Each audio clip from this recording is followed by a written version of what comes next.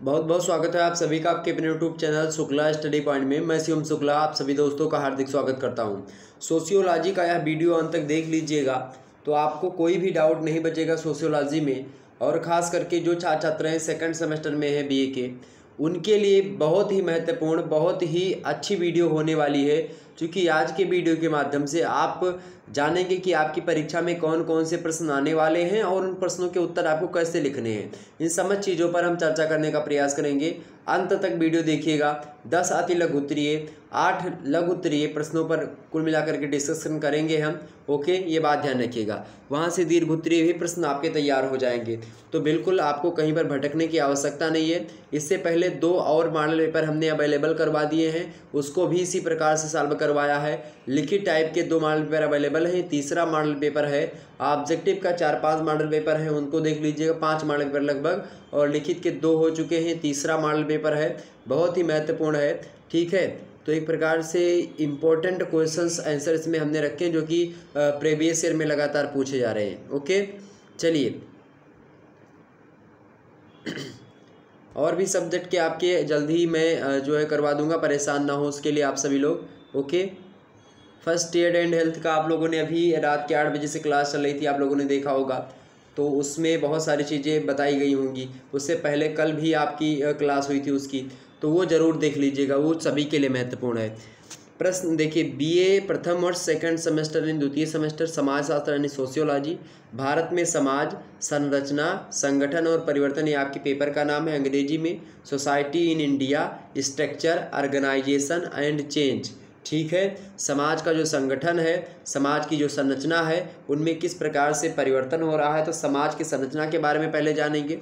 समाज के संगठन के बारे में जानेंगे, जो समाज में, भारत के समाज में खास करके है, और भारतीय समाज में तीव्र गति से जो परिवर्तन हो रहा है आज के भौतिकवादी समाज में, जो एक प्रकार से उपभोक्तावाद चल रहा है, इसमें आप देखते होंगे बाजारवाद की जो विचारधारा के माध्यम से आप देखिएगा, जो भारतीय संस्कृति रही वो किस प्रकार से दबती जा रही है, इन समस्त मुद्दों पर आपको चर्चा करनी होती है इसमें। आइए हम देखते हैं कैसे कैसे प्रश्न आपकी परीक्षा में आते हैं। देखिए, पेपर तीन खंडों में आपका आता है, आ, बा और सा। खंड आ से अति लघु उत्तरी, बा से लघु उत्तरी और सा से दीर्घ उत्तरी टाइप के प्रश्न पूछे जाते हैं। जो अति लघु उत्तरी प्रश्न होते हैं, दस की संख्या में दिए होते हैं।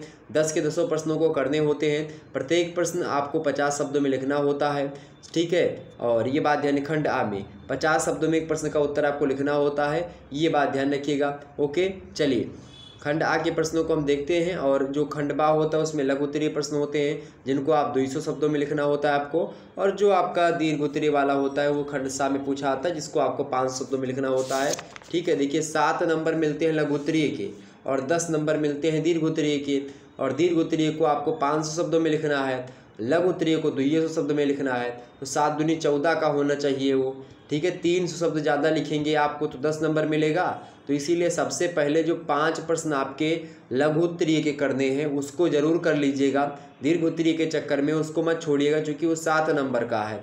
तो सात पच्चे पैंतीस नंबर आपका ये कंप्लीट हो जाएगा।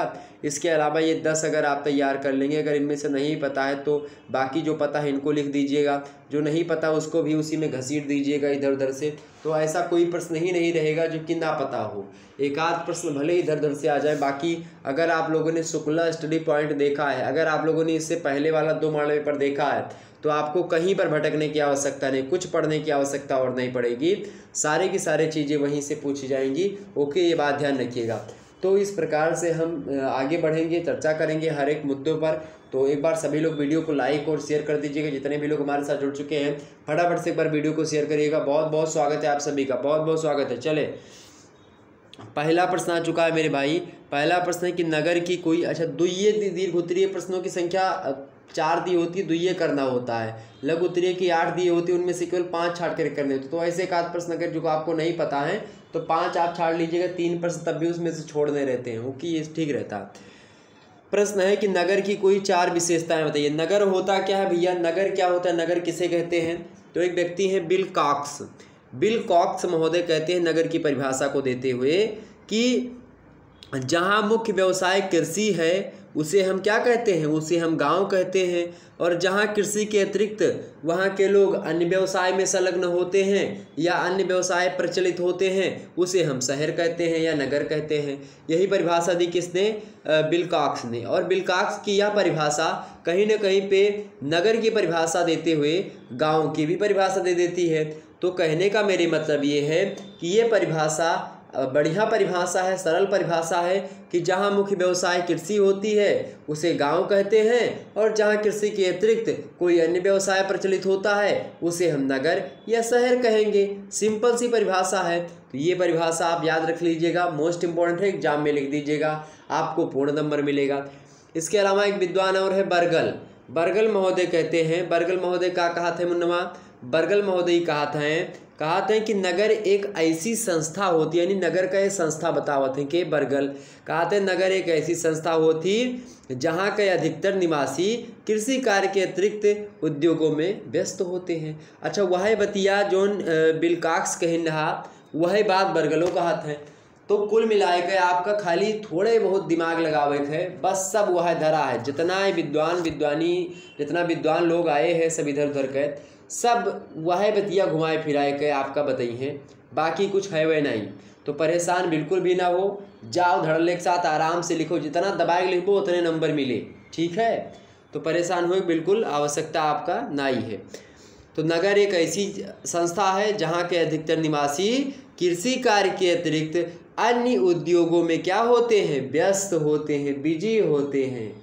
ठीक? तो जहाँ भैया बिज़ी हुए, किसमें? अन्य काल पर मतलब अन्य काल नहीं, अन्य उद्योगों में किसके अतिरिक्त? कृषि के अतिरिक्त। अन्य उद्योग कौन कौन से हो गए? जैसे किसी, कोई कंपनी में काम कर रहा है, कोनो किसी कंपनी में जो है एक प्रकार से अलग अलग कंपनी होती है, शहरों में आप देखिएगा बड़े बड़े उद्योग होते हैं, उनमें लोग कार्य करते हैं, कोई टीचर होता है तो उस, खास करके गाँव में भी टीचर होते हैं, लेकिन शहरों में बड़ी बड़ी यूनिवर्सिटीज़ होती हैं तो वहाँ पे प्रोफेसर्स वगैरह होते हैं, ये सब चीज़ें खास करके, ठीक है? समझ में आवत है भैया? चलो तो ये हुएगा नगर, ठीक है? गाँवों समझ लियो, गाँव तो आप सब लोग जानते हो, ग्रामीण समुदाय के अंतर्गत जो संस्थाएँ होती उसमें आप देखिए, जिसमें कृषि होती है, प्राथमिक संबंध होते हैं आपस में लोगों में मतलब कि जैसे कि हमारे चाचा हुए, ये काका हुए, ये दादा हुए दादी हुए, ये नाना, मौसी, ये ये प्रकार के संबंध होता है। तो गाँव में जो संबंध होता है, वो मधुरम में संबंध होता है। मधुरम संबंध के साथ ही साथ गाँव में जो होता है, लगाव होता है परस्पर एक दूसरे में। ठीक है? एक दूसरे के परस्पर लोग पूरक होते हैं गौवा में। जैसे तोरे यहाँ आटा खत्म बा तो बगले जुड़ता है, मम्मी कहन जाए काखा मांग लो हरी बगले। तो ये होता है गाँव का संबंध। अच्छा शहर का संबंध जो होता है, द्वितीयक संबंध होता है। तो प्राथमिक संबंध समझ में आया कि आटा खत्म बा तेल खत्म बा जुड़ते मांग खरीदे नहीं पा रहा तुरंत। है अच्छा शहर में का है? शहर में ये है कि अगर तुहरे लगे मिर्चा खत्म हो गया है तो चाहे पाँच रुपये की मिर्चा मिले। तुम्हें तो बहरे दुकानिए से खरीदे पड़े केवल मंगो कि भैया मिर्चा दे दियो। तो कहे वो खरीद नहीं पा रहा है।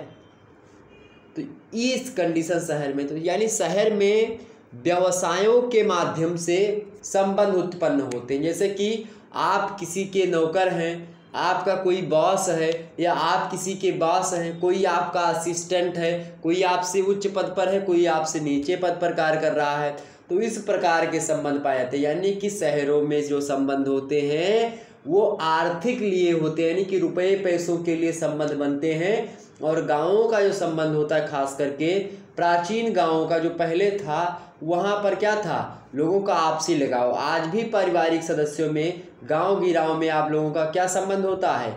एक प्रकार से जो मधुरम में संबंध होता है, जो प्राथमिक संबंध कहलाता है और शहरों में द्वितीय संबंध होता है। सिंपल सी परिभाषा, आगे अभी हम चर्चा करेंगे इन सभी मुद्दों पर तो गाँव और नगर आपके समझ में आ गया। अब प्रश्न ये है आपका कि नगर की कोनो चार परिभाषा मतलब कि चार विशेषता बताओ। तो अब यहीं पर अगर आपसे पूछ लेता कि गाँव और नगर किसे कहते हैं, गाँव और नगर में मुख्य दो अंतर लिखिए, या प्रश्न पूछ सकता था कि गाँव की परिभाषा दीजिए या नगर की परिभाषा दीजिए तो आप बड़े आसानी से उन सभी प्रश्नों के उत्तर को कर पाते, इतना जब दे हमने बताया। ठीक तो नगर की कोई चार विशेषता, पहली विशेषता लिखो मुन्नवा सभी लोग। पहली विशेषता लिख लियो, कापी कलम उठाओ, लिखो, पहली विशेषता है समूहों। एवं व्यक्तियों के बीच कार्यात्मक अन्योन्य आश्रिता होती है। कार्यात्मक मतलब कि जैसे कोनो कार्य करना है, जैसे कोनो स्कूल है मान लेते हैं, या फिर कोई फैक्ट्री है।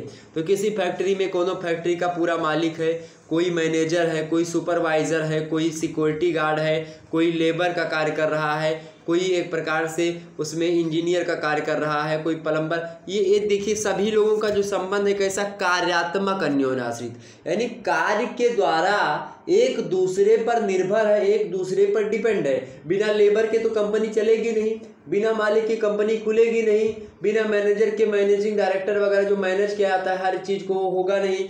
बिना एक प्रकार से आप देखिएगा तमाम प्रकार के लोग होते हैं तो परस्पर कंपनी में कार्य कर रहे लोग एक दूसरे से किस प्रकार से संबंध होते हैं? कार्यात्मक रूप से संबंधित होते हैं, अन्योनाश्रित मतलब एक के बिना दूसरे का चलाऊ नहीं है। उसी को अन्योनाश्रित कहते हैं। आप लोग अन्योनाश्रित बहुत कठिन लगता होगा। कुछ नाई है भैया, बहुत सहज है अन्योनाश्रित। अन्योनाश्रित मतलब होता है कि बस, तोहरे बिना हम हन हमरे बिना तू मतलब कि नहीं रह सकते। ठीक, ये चीज़ होता है अन्योनाश्रित। तो नगरों में ये होता। है पहला पहला विशेषता, समूहों एवं व्यक्तियों के बीच क्या होता है? कार्यात्मक अन्योनाश्रिता होती है। दूसरी विशेषता लिखो। दूसरी विशेषता, अधिक जनसंख्या एवं अधिक जनघनत्व। सभी को पता है, पी पी पी पी, दुनिया भर के मोटर गाड़ी आवत ही रोड पर से जाबो। कहूँ, यहाँ छुएगा केहू का तो जुड़ते तुरंत झगड़ा, लड़ाई शुरू। इस प्रकार से क्या होता है? बहुत ज़्यादा घनी आबादी है। लोगों के पास आप देखिएगा, कार, गाड़ी, मोटर खरीद तो लेंगे, लेकिन खड़ी करने की जगह नहीं होती, पार्किंग ढूंढना पड़ता है। इस प्रकार से नगरों की स्थिति है, ठीक है? नगरों में केवल खाली है तो क्या सड़कें, और भी सड़कों पे गाड़ी, मोटर जो है खाली, वो भी नहीं है। केवल थोड़ी देर के लिए खाली होते हैं तो पार्क, वो भी रात में, बाकी दिन में तो पार्क भी भरे होते हैं। तो शहरों में आप देखिएगा, कुछ खाली नहीं होता है जनघन तो खूब होता है, दबा करके, ठीक, ये बात ध्यान रखिएगा। तो दूसरी विशेषता। तीसरी विशेषता ये है कि संदेश वाहन के साधनों की बहुलता। यानी नगरों में आप देखिएगा, संदेश वाहन, संदेश भेजने के साधन हो, चाहे यातायात के साधन हो, कुछ भी साधन हो, बहुत ज़्यादा। लाइट बिजली चौबीसों घंटा रहेगी। ये तमाम प्रकार की चीज़ें। तो संदेश वाहन के साधनों की क्या होती? बहुलता होती किसी के पास संदेश भेजना तो उसकी बहुलता बहुत ज़्यादा संदेश वाहन मिलते हैं। चौथा विशेषता ये है नगरों की कि प्राथमिक संबंधों का अभाव है। मैंने बताया था वहाँ पर द्वितीय संबंध होते हैं शुरुआत में ही। तो प्राथमिक संबंधों का अभाव और गाँव की विशेषता लिखेंगे तो लिखेंगे प्राथमिक संबंधों की प्रधानता होती है जनघनत्व और जनसंख्या कम होती है संदेश वाहन के साधनों की आ, आ, का अभाव होता है ठीक है समूहों और व्यक्तियों के बीच में क्या होता है? मधुरम्य का मधुरम्यता का संबंध या प्राथमिक संबंध पाया जाता है, ठीक है? और एक दूसरे के लोग जो होते हैं जो है संबंधों के हिसाब से एक दूसरे से जुड़े हुए होते हैं, ठीक? ये चीज़ें, कल्चर के द्वारा जुड़े हुए होते हैं, ठीक? क्लियर होगी बातें? गाँव का आधार प्रमुख कृषि होता है, उसकी अर्थव्यवस्था ठीक गाँव में पास पड़ोस का विशेष महत्व होता है, गाँव में जनसंख्या विरल होती है, ठीक गाँव में अधिकांश संयुक्त परिवार पाए जाते हैं ज्वाइंट फैमिली ये सब चीज़ें। शहरों में कौन सी फैमिली पाई जाती है तो एकाकी परिवार पाए जाते हैं तो ये तमाम प्रकार की चीज़ें। तो आपके समझ में तो आ गया होगा, सारी चीज़ें एक भी प्रश्न आपका ऐसा नहीं बचेगा जो मैं ना बताया हूँ। अगला प्रश्न आप देखिएगा।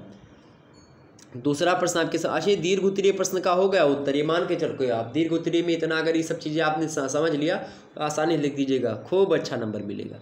अगला प्रश्न, धार्मिक विविधता में एकता को स्पष्ट की चूँकि भारत, आपको पता ही है कि विविधता में एकता है। भारत में तमाम धर्म के लोग, जैसे हिंदू, मुस्लिम, सिख, ईसाई, बौद्ध, धर्म, पारसी, जैन, तमाम प्रकार के धर्म के लोग रहते हैं, ठीक? फिर भी सब मिलजुल करके रहते हैं। तो इसी को विविधता कहते हैं। तमाम धर्म के लोग ये विविधता हो गई। एकता मतलब फिर भी सभी लोग एक साथ रहते हैं। तो ये विविधता में एकता हो गई। इसी प्रकार से तो ये तो धार्मिक विविधता हो गई।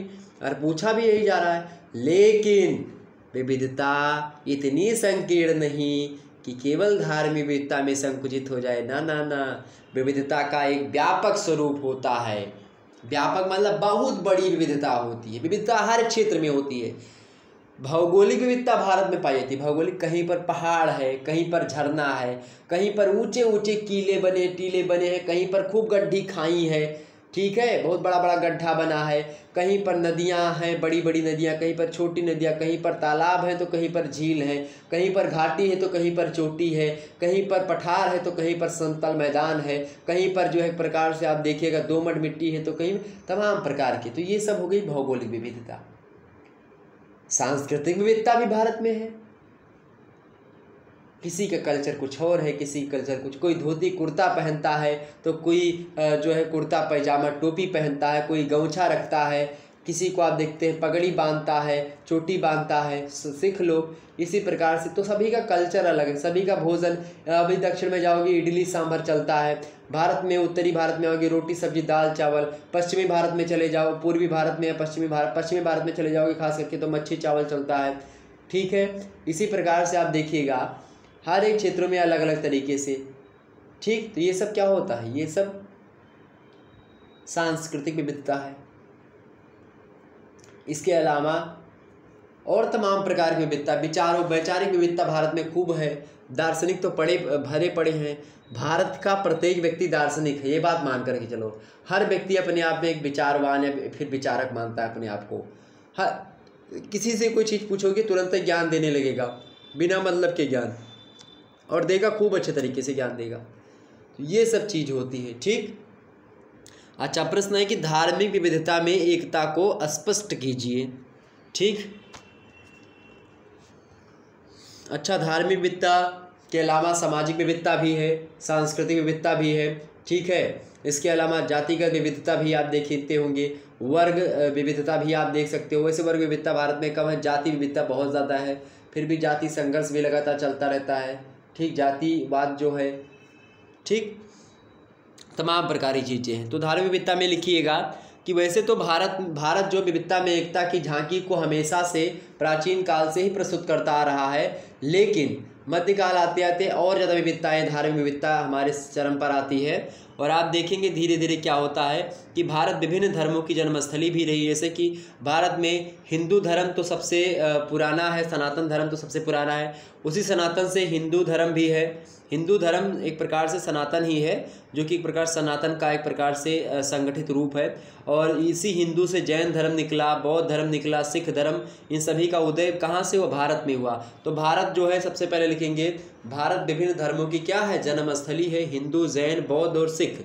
इन धर्मों का उदय कहाँ पर हुआ? भारत में ही हुआ है। इस्लाम और ईसाई धर्म का कहाँ का उदय हुआ? है विदेशों में हुआ है, ठीक है? तो ये विदेशी धर्म है, लेकिन भारत में आए और आज बड़ी तादाद में मुस्लिम जनसंख्या भारत में निवास करती है, ईसाई जनसंख्या भी निवास करती है और ऊपरी तौर पर उन धर्मों में हमें भिन्नता भी दिखाई देती है, किंतु सभी के मूल सिद्धांतों में समानता है चाहे ईसाई धर्म हो, चाहे हिंदू धर्म हो, चाहे बौद्ध हो, पारसी हो, धर्म हो, यहूदी, कोई भी धर्म हो, सभी का लक्ष्य यही होता है कि अच्छे कार्य करें और जो है किसी को दुख ना पहुंचाएँ। हर धर्म यही चाहता है, कोई धर्म नहीं चाहता है कि आप दया की भावना न रखें। ओके? तो क्लियर हो गई बातें? तो ये होता है धार्मिक विविधता। ओके? क्लियर हो गई? आगे समझते हैं। तीसरा प्रश्न आपके समक्ष है, जीएस घोरिए के अनुसार भारतीय विद्या अभिगम का महत्व बताएँ। बताइए जीएस घोरिये के अनुसार भारतीय विद्या, अभिगम का महत्व बताइए। जीएस घोरिये की बात की जाए तो ये पहला इनका महत्व है जो है विद्या, भारतीय विद्या अभिगम का पहला महत्व है कि भारतीय आर्य समूह, लिखिएगा, भारतीय आर्य समूह के भाषाई संदर्भ में जनजाति एवं जाति के अंत संबंध को खोजने का प्रयत्न किया जाता है। किसके द्वारा? विद्या, भारतीय विद्या अभिगम के द्वारा। किसके? जनजाति और जाति के जो अंत संबंध हैं, उन अंत संबंधों को खोज निकालने का कार्य जो कर सकता है, वो कौन? भारतीय विद्या अधिगम के द्वारा, अभिगम के द्वारा हम कर सकते हैं। दूसरा इसका महत्व है, जी इस घुरी कहते हैं कि प्राचीन भारतीय इतिहास एवं प्राचीन ग्रंथों से संज्ञाओं तथा अवधारणाओं निर्देशन किया जाता जा सकता है और जो अवधारणात्मक तथा विश्लेषणात्मक दोनों अभिप्रायों के लिए उपयोगी हो सकता है। तो इस प्रकार से प्राचीन भारतीय जो ज्ञान है, जो अभिगम है, अभिगम माने एक प्रकार से ज्ञान ही होता है। तो प्राचीन भारतीय संस्कृति, ज्ञान रहा है। जो तमाम प्रकार के जो पुस्तकें हैं, आर्य, चाहे उपनिषद हों, चाहे वो वेद हों, चाहे पुराण हो, चाहे जो है वेदांग हो, या तमाम प्रकार के जो ग्रंथ हैं, स्मृतियाँ हों, ब्राह्मण ग्रंथ हों, ठीक है, आरण्यक हों तो उन सभी से हमको जानकारी मिलती बहुत सारी। तो समाज के बारे में हो या भूगोल के बारे में हो या खगोल शास्त्र के बारे में हो, सभी के बारे में हमको जानकारी मिलती, इतिहास के बारे में हो, ठीक? तो जी एस गुरी के अनुसार भारतीय विद्या अभिगम का यही महत्व है जो कि मैंने आपको बता दिया। आगे समझते हैं अगला प्रश्न। अगला प्रश्न आपकी स्क्रीन पर आ चुका है, चौथा नंबर। संयुक्त परिवार की परिभाषा दीजिए। संयुक्त परिवार क्या होता है भैया? ज्वाइंट फैमिली जिसको कहते हैं। ज्वाइंट फैमिली समझ रहे हैं ना? ज्वाइंट फैमिली को संयुक्त परिवार कहते हैं, ठीक है? और संयुक्त परिवार की अगर हम बात बताइए आपका तो संयुक्त परिवार से बिलोंग आपने भी किया होगा, गाँव वगैरह के जितने भी लोग होंगे, हमने भी किया है, कोई दिक्कत नहीं है।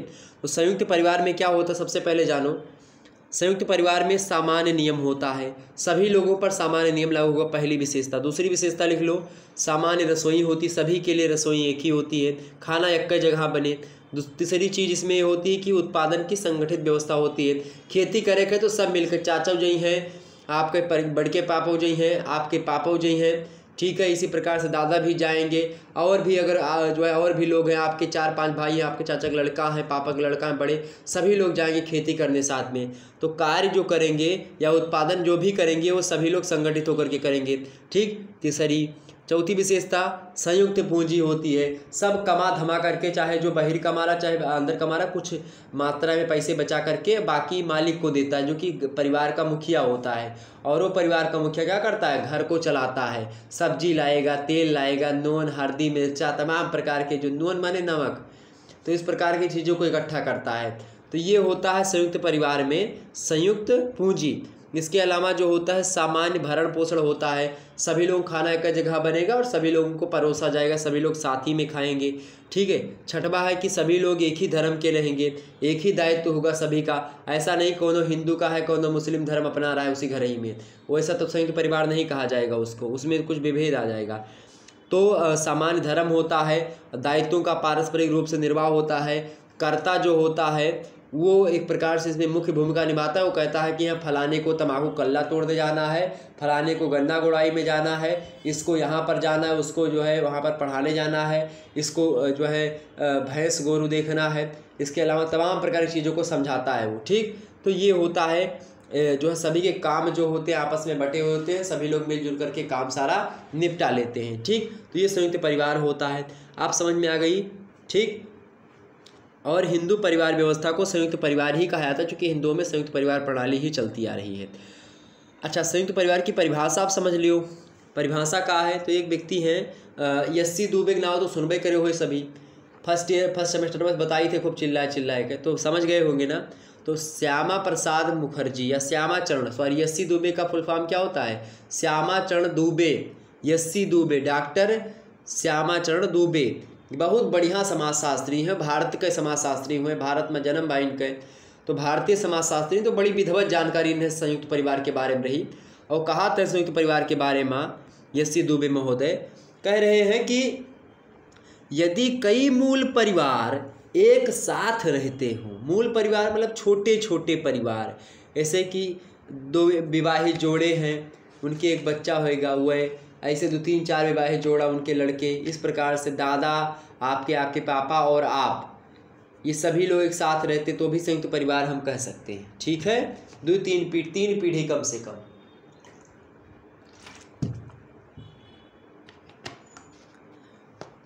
तो श्यामा श्यामा चरण दुबे कह रहे हैं कि यदि कई मूल परिवार एक साथ रहते हो और इनमें निकट का नाता हो, ऐसा नहीं कि टकरा रहे हो तो दिन रात लाठी चलत हो घर में मारे हुए तो तो वो इस प्रकार से नहीं। यदि कई मूल परिवार एक साथ रहते हो और निकट का संबंध का पाया जाता हो या निकट का नाता हो, एक ही स्थान पर भोजन करते हो सभी लोग बैठ करके, एक ही आर्थिक इकाई के रूप में कार्य करते हो सभी लोग तो सम्मिलित रूप से हम उस परिवार को जो कि ऐसा करते हैं, उनको हम संयुक्त परिवार बोल देते हैं या कह देते हैं या कहते हैं या माना जाता है। ये कहते हैं एस सी दुबे। और निश्चित तौर पर ये परिभाषा इसमें कोई आक्षेप नहीं है, कोई मंडन, खंडन नहीं कह सकता इसका। ठीक तो बिल्कुल बेस्ट परिभाषा है मेरे हिसाब से एस सी दुबे की, और ये परिभाषा ज़ाहिर सी बात है अच्छी है।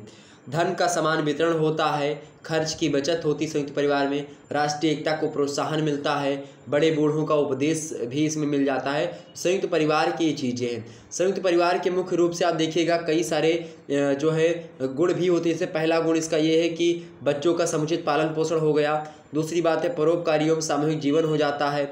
तीसरा, वृद्धावस्था में सुरक्षा की भावना रहती है। चौथा, नवीन पति पत्नियों पर हल्का भार होता है। तो ये चार गुण होते हैं। लेकिन चार दोष भी इसके और लिख लीजिएगा। पहला दोष इसका ये है कि द्वेष और कलेश का केंद्र होता संयुक्त परिवार। जहाँ चार बर्तन रहे गवम कहते नहीं कि जहाँ चार बर्तन नहीं हुआ खटपट तो लागे रहे। यानी कि जहाँ दस ग्यारह लोग रहेंगे, घर ही में तो हुआ तो झगड़ा, लड़ाई तो हो करे, आम बात है, चला करता है। तो पहला दोष इसका यही है कि द्वेष और कलेश का केंद्र होता संयुक्त परिवार। दूसरा दोष है कि परोपकारी, दूसरा दोष क्या है? स्त्रियों की दुर्दशा हो जाती है। इतना ज़्यादा मनई हो जाता है कि मैंने स्त्री की दुर्दशा, यानी कि आप सोचते हो कि गहना बनवाए ली अपनी मेहरारू खातिर। तो सोचबो कि एक चक्कर पहले पप्पा से पूछ ली कि गहना बनवाए कि ना बनवाए। अगर तू बनवाए लो जाली ज़्यादा पैसा कमाते हो बीस हज़ार तो महीना कमाते हो तार भाई पंद्रह कमाते है। और वो मेहरारू को अपने गहना नहीं बनवाए से तार मेहरारू कहती, नहीं, मैं गहना चाहिए। तो आप अपने पिताजी से पूछबो कि गहना बनवाए दी? तो कहेंगे, अभी देखो थोड़ा सा ये काम निपटा ले, फिर उसके बाद में ऐसा। ये चीज़ें। तो इससे क्या होगा कि वैमनुष्यता धीरे धीरे फैलती तो क्लेश भी फैलता है, ईर्ष्या फैलती है। अगर आप जाए के गहना लें और पहनाए दियो तो आपकी पत्नी तो आपसे खुश हो गई। लेकिन और जौन सब लोग हैं, वो तुरंत नाराज़ हो जाए हैं। ईर्ष्या, वहीं से क्या होगा कि देखो, ये ज़्यादा कमा रहे हैं तो अपना धौस जमा रहे हैं घर में। ये चीज़ होने लगेगा। तो इस चीज़ को ये भी एक प्रकार से संयुक्त परिवार का दोष ही होता है। स्त्रियों को खाना वाना खूब बनाना पड़ता है। लंबा परिवार होता है, दुर्दशा स्त्रियों की होती है। कौन इधर से पहुँचा पानी लाओ, कौन उधर से पहुँचा पानी लाओ। ये सब चीज़ें होती हैं। कभी कभी क्या होता है, गाँव वगैरह में चार छः दोस्तों को बुला लाए, खाना यहीं पर सब लोग खाएँगे। अच्छा गाँव में बताते भी नहीं से कि बाहर नाथ रिश्तेदार है कोई आ गया, अब घर में बिस्कुट है या मिठाई है, पानी पिए कि नाई है? ए, पानी ले आओ रे। अब अब सोचो, घर में बिस्कुट नहीं है यहाँ तो बोल दिया साहब ने कि पानी लेकर के आओ। अब बहिरे कैसे पानी जाए? अब अंदर बिस्कुट नहीं थे भेली वली कहूँ से? जुगाड़ कराते हैं। अच्छा गाँव सबसे बड़ी बात ये होते कि बगलिए वाले जो घर होते पड़ोसी तो झगड़ा भले हुए उनके घर से रहा था लेकिन थोड़ा सा उसी में से कुछ लेन देन का मामला चलता रहते बहन तेनी बिस्कुट रखे ही, देती हो आज का। अरे, रिश्तेदार आए हैं, फलाने के ससुर में अच्छा अच्छा। तुरंत वो जो अव्वल क्वालिटी के बिस्किट हुए नंबर उनके दे दी कि जाओ दे दियो तो ये चीज़ गाँव में होता तो इसी को तो कहते हैं ना प्राथमिक संबंध, कि झगड़ा, लड़ाई कुछ भी हो रही है, लेकिन काम आने पर सभी लोग साथ में आ जाते हैं। तो स्त्रियों की दुर्दशा भी होती है कहीं ना कहीं पे, और तीसरा दोष इसका ये है कि बाल विवाह को प्रोत्साहन संयुक्त परिवार के द्वारा मिलता है, बाल विवाह को ओके और चौथी चीज़ ये है कि अधिक संतान उत्पादन भी इसमें होता है कोई खर्चा का ज़्यादा लोड नहीं होता है, सभी लोग संयुक्त परिवार से तो अगर हम नहीं कमाए तो बप्पा देख पा करिए और एकाकी परिवार में क्या होता है कि अगर कमाबो ना तो खाबो का, मर जाबो, बस यही चीज़ रहेगा। तो इस प्रकार से होता तो खाना है तो कमाना ज़रूर पड़ेगा एकाकी परिवार में। संयुक्त परिवार में क्या होता है? आलस निष्क्रियता भी कहीं ना कहीं पे आ जाती है। कुछ लोग क्या होते हैं, काम चोरी करने लगते हैं उसी में। तो ये सब चीज़ें इसका दोष भी है, लेकिन फिर भी दोष होते हुए भी संयुक्त परिवार अच्छी पारिवारिक व्यवस्था है। तो ये होता है। संयुक्त परिवार के बारे में दीर्घ उत्तीर्ण प्रश्न पूछा जाएगा, ये सब चीज़ें लिख दीजिएगा, हो जाएगा आपका। अगला प्रश्न है, वर्ग से आप क्या समझते हैं? वर्ग क्या होता है भैया? वर्ग क्या होता है? वर्ग की बात अगर हम करें तो वर्ग की परिभाषा को देते हुए आकबरदम निमकाफ कहते हैं कि एक सामाजिक वर्ग उन व्यक्तियों का योग होता है, जिसका आवश्यक रूप से एक निश्चित समाज में समान सामाजिक पद होता है। दूसरे विद्वान है लेपियर। लेपियर महोदय कहते हैं कि एक सामाजिक वर्ग सुस्पष्ट सांस्कृतिक समूह है, जिसे कि संपूर्ण जनसंख्या में एक विशेष स्थान अथवा पद प्राप्त होता है। ऊंच नीच की भावना होती है दोनों में। ऊंच नीच की भावना या मनोवृत्ति प्रत्येक वर्ग के सदस्य अपने एक दूसरे लोगों के प्रति कोई ऊंच अपने आप को समझता है, कोई नीच समझता है, इस प्रकार से भावना होती है। और वर्ग का जो निर्धारण होता है समाज में, वो खास करके जिसके पास धन ज़्यादा है, वो बड़े वर्ग हो गया वो हो गया, जिसकी आयु ज़्यादा है, वो बड़ा मान लेता है अपने आप को तो ये आयु के हिसाब से वर्गों का निर्धारण होता है। धन के हिसाब से निर्धारण होता है वर्ग का। लिंग के हिसाब से आप स्त्री हैं, पुरुष हैं, इसके हिसाब से वर्ग का निर्धारण होता है। आपका टैलेंट क्या है? योग्यता के हिसाब से भी योग्य निर्धारण होता है। ठीक है? राजनीतिक शक्ति आपके पास क्या है? इससे भी आपका सामाजिक वर्ग निर्धारित होता है। ये होता है वर्ग। वर्ग समझ में आ गया? सामाजिक वर्ग का तात्पर्य उन व्यक्तियों के समूह से होता है, जिनकी किसी समाज में समान स्थिति होती है। जब समाज के कुछ लोगों में एक सामान्य समानता होने के कारण उनकी स्थिति में समानता होती है तो इस समान स्थिति प्राप्त व्यक्तियों के समूह को हम वर्ग कहते हैं। और इसी प्रकार से कोई निम्न वर्ग होगा, यानी कि समान ही, जैसे कि मान लेते हैं दस लोग हैं, दस लोग जो है बीस बीस हज़ार रुपये समाज में कमा रहे हैं तो वो एक वर्ग के लोग हैं। और वहीं पर दस लोग जो हैं, वो दो दो हज़ार रुपये महीने में कमा रहे हैं तो उनका वर्ग एक दूसरा है। और कोई एक एक लाख रुपया कमा रहे हैं तो वो वर्ग दूसरा तो इस प्रकार से ये वर्ग होता है। ये रुपए पैसे के हिसाब से, ठीक है, वर्ग हो गया आपका, धन के हिसाब से। इसी हिसाब से आयु कोई बूढ़ बुज़ुर्ग है तो बूढ़ों का वर्ग हो गया, जवान है तो जवानों का, बच्चे हैं, बच्चों का वर्ग, ये सर ठीक तो वर्ग हो गया समझ में आ गए एक पूंजीपति वर्ग वर्ग संघर्ष की विचारधारा काल मार्क्स ने दिया है। ठीक? ये सब तो आप लोग जानते होंगे तो ये सब चीज़ें होती है समाज में वर्ग। वर्गों के बीच में संघर्ष होता रहता है। जो अमीर है वो अमीर होता जाता है तो इससे गरीबों को दिक्कत होती है। और जो गरीब है वो, और गरीब होता है तो चूँकि उसको उत्पत्ति के साथ मतलब कि उत्पादन के साधनों पर पूर्ण रूप से पूंजीपति वर्ग का अधिकार होता है। ठीक? अगला प्रश्न देखिएगा। छठवा नंबर प्रश्न, हिंदू विवाह की विशेषताएँ बताइए। प्रश्न है कि हिंदू विवाह की विशेषताएँ बताइए भैया।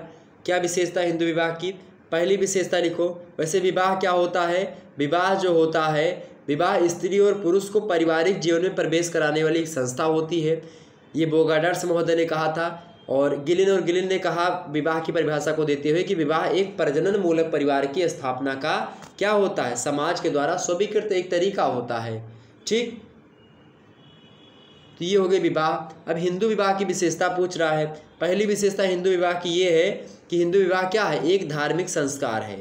भारतीय धर्म ग्रंथों को जब आप पढ़ेंगे तो उसके अनुसार आप देखिएगा कि भारतीय धर्म ग्रंथों के अनुसार विवाह जो होता है, एक धार्मिक संस्कार होता है। सात कहते हैं कि सात जन्म का रिश्ता है। छोड़ेंगे ना सात साथिया सातों जन्म तक। गाना वगैरह आप लोग सुनते होंगे तो आप पुराने गानों में अस्सी के दशक और नब्बे के दशक के गानों में आप लोगों ने सातों जन्म के बंधनों के बारे में गाना सुना होगा कि सातों जन्म के बंधन में चलो बंध जाएँ। इसीलिए सात फेरे होते हैं ताकि सात जन्म के बंधन हो।